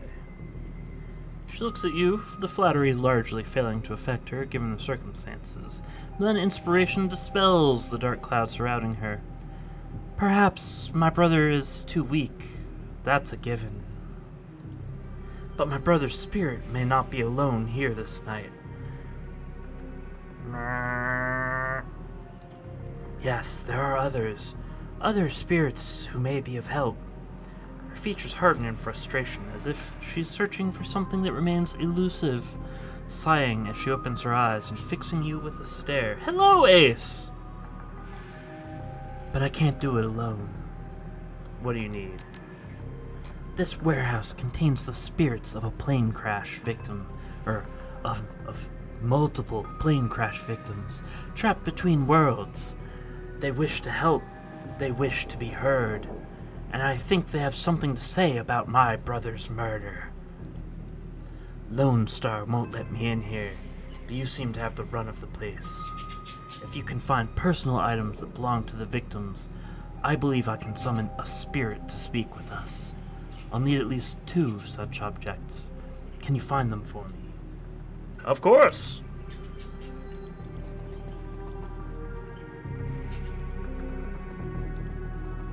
Uh, so we can go in this office now, and we can screw around with this stuff over here.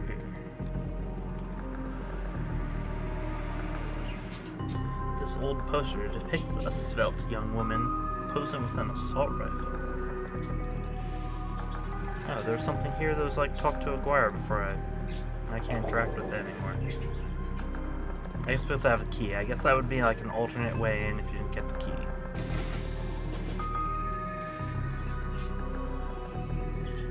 Yeah, I, I saw you you were playing it.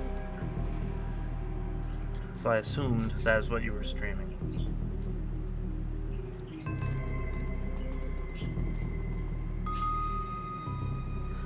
This appears to be the victim's locker. The door is slightly ajar. Inside, you see several of the dead man's personal items. Inspect the toothbrush? The blue toothbrush is still wet from being used. It smells of mint and cigarettes. Sure. As you reach for the comb, the hair on the back of your ha- hand stands on end. And when you take it off its little shelf, your heart thumps in your chest hard. This must, this must be one of the items the shaman was looking for. Okay.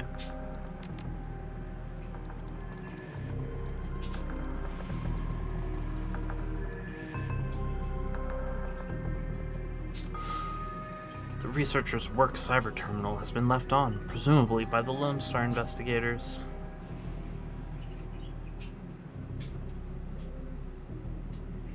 Arrest some birds and I'm starring in the movies of An Owl Who Has No Eyes and Disco Club Penguin. An Owl Who Has No Eyes. Interesting, Ace.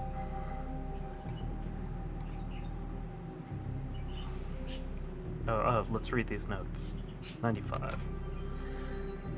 Case file number 95, Federated Boeing jetliner, IDN 2305, corporate owner Ares. The plane had several mechanical issues, resulting in a mayday at 3:04 a.m. on June 17, 2053. 2:45 a.m. The pilot reported that the altimeter was reading in the negative values. 2:49 a.m. The co-pilot takes over the controls as the pilot leaves the cabin to investigate the rear of the plane. Oh, the butt is the conductor. His movies are mostly westerns that take butt on a on a trannon. Butt on a trannon. You're right.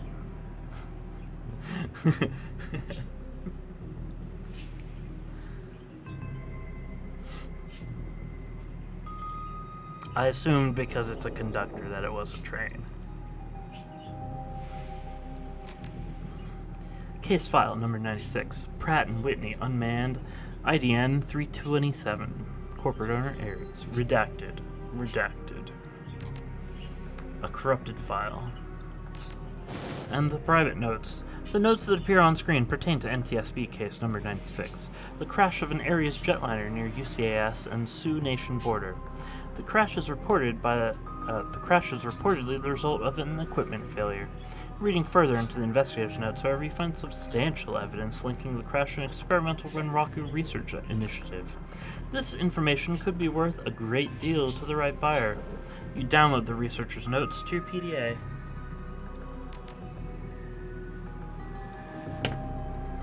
Still need another personal item.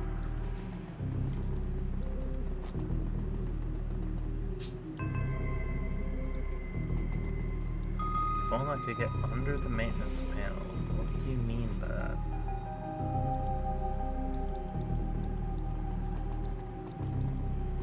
Well, can I go and give her the one item I have? Only at least two objects of significance from inside the warehouse. Oh, okay. Uh, in here, I guess.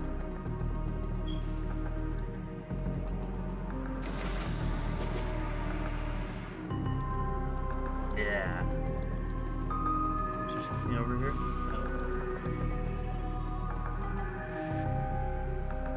There's a large pile of old shoes on the ground next to the airplane seats. They could be discarded luggage, or possibly the shoes worn by the occupants of the plane at the time of the crash. Let's dig through it. Sorting through the shoes, you realize that there are three shoes with no matching pair a left blue sneaker, a right red heel pump, and a left black dress shoe. Inspect the heel pump. The pump is a department store knockoff of an Italian brand. It's otherwise unremarkable. The dress shoe is a black lace up with a rubber sole. The sneaker is a child's and has a musty, sweaty smell. Wait. I'm smelling the old shoes? Oddly, you get a sort of a sort of shock, as if from static electricity, when you touch it. This must be one of the items the shaman was looking for. You take the shoe. Um, shoe acquired.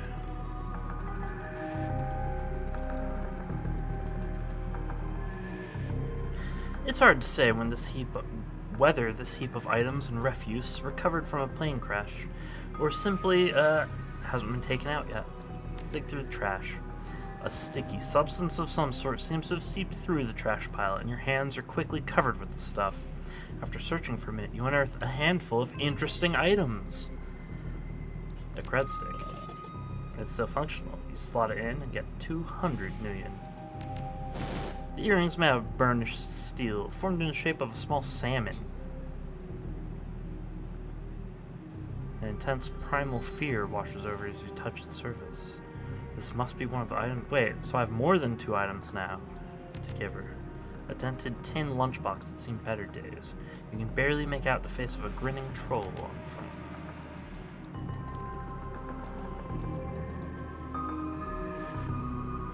There's an open vent on this wall. It's too small for you to fit through, but you might be able to send a drone through. Yeah, yeah, I do. You're right.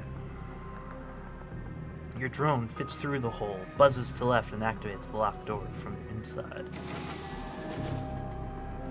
I'm so glad I picked being a rigger. I like having a drone.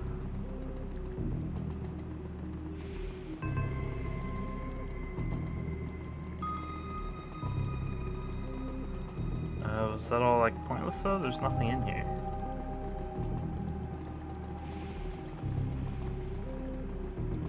Oh, there is. Give me this. A magnetic screwdriver. Nice. A sonic screwdriver.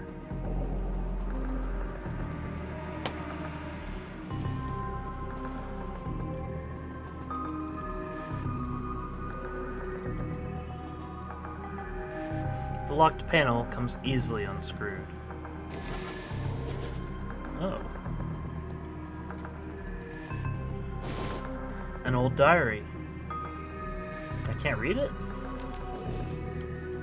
Okay.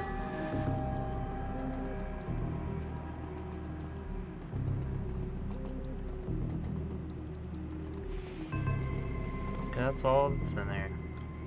Can I really not read the old diary?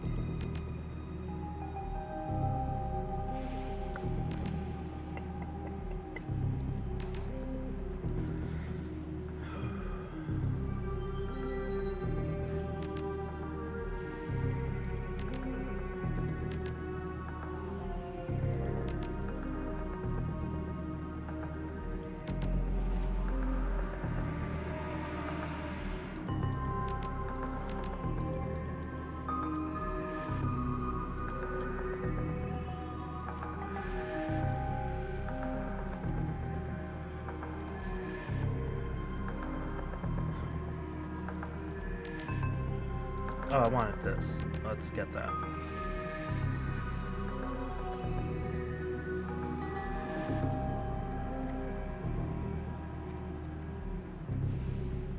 Yeah, I'm good with this.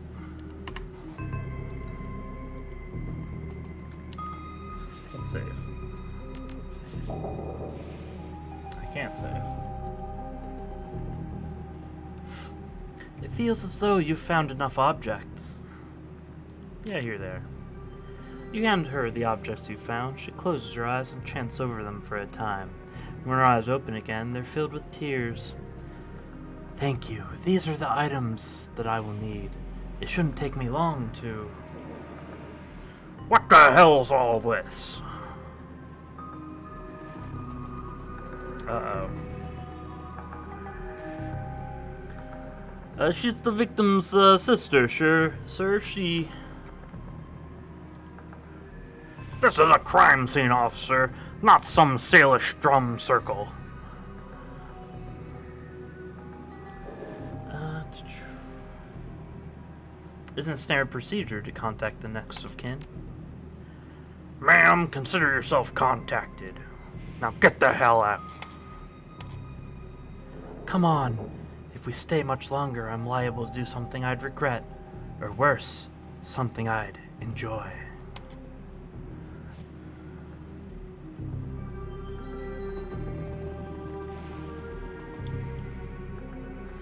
That man is an ass.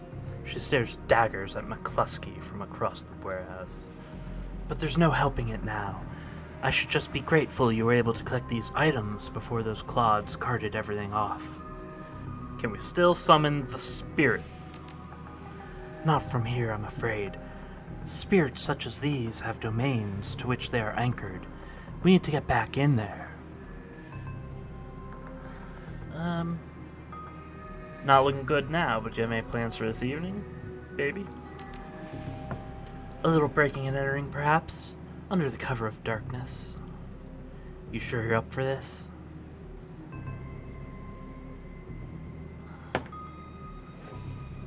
If it means your brother's killer doesn't take another life, then yes. Thank you. Now, since we have the time, we should probably enlist some help. They may post security overnight. And I'm going to go out on a limb and say you know where to find the kinds of people we need. Just smile. Good, I'll put up the money if you find the bodies. She produces a fistful of crumpled nuyen from inside a leather pouch, starts to count it, and then shoves the whole wad at you. Meet me back here at midnight. The spirits will be strong then. Sweet. As you start to leave the warehouse, your comm like chirps, and you see the face of Coyote pop on the screen. Coyote looks tense. Hoy, Baconator! You in the middle of something. Just getting jerked around by Lone Star. Same old thing. I hear ya. Her jaw sets. I don't know if I'll if I ever told you this, but I was born in the Royale. BTL pushers like Stevie J ran the squats, ran my world when I was growing up. Sounds nasty. It was, for all kind of reasons. I have a cousin, Gino, who's been missing for months. He hit the sprawl about a year ago and immediately fell in with some tweakers. Bad guys. They hooked him on high amp dream chips and started using him for all sorts of drek. I tried to help him, but he pushed me away. Then he disappeared. I've been shooting up BTL labs ever since trying to find him. Guessing you have a new lead. It's not a lead. I know exactly where he is this time. Got an old friend who eyeballed him herself. I'm on my way. Paco's with me, but we could use another hand. You in? I need you right now. On my way.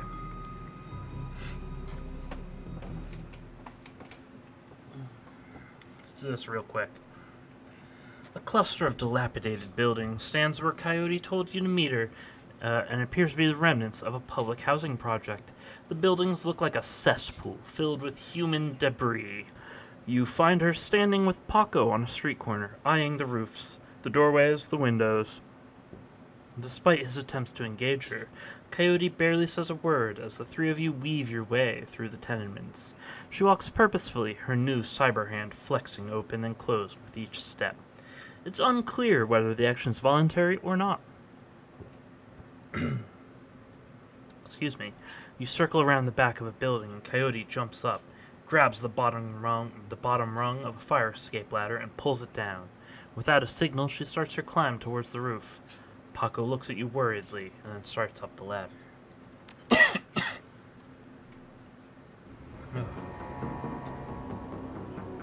Thanks for meeting us, Baconator. I owe you one. No sweat. Figured you could use the backup. Yeah, you never know what sort of firepower to expect from one of these BTL squads. Oh, hey, listen, I got good news for you. You know Sam's sister Jessica? One of my contacts found her for me while you were on your way here. I called her and asked her to meet you at the Union later today. Hope that helps. Good job, thanks. Least I can do. Alright, let's get this done. My cousin Gino should be in one of the squats past that door up ahead. Here there's a whole lab set up in there. From my experience, there's usually a lookout watching for cops outside and a guard at the door inside. Like I said, I don't know how much firepower to expect, but these guys are nasty. So stay on guard. I just want to get in, grab Gino, and get out. Yeah, right behind you, babe. Let's do this. Let's save, and then I, I think I'm done for today. I have to get ready to do some Pathfinder later on, and I have to go eat something delicious, and um, yeah, and then I'm out of here. Uh, how the heck do I leave the game?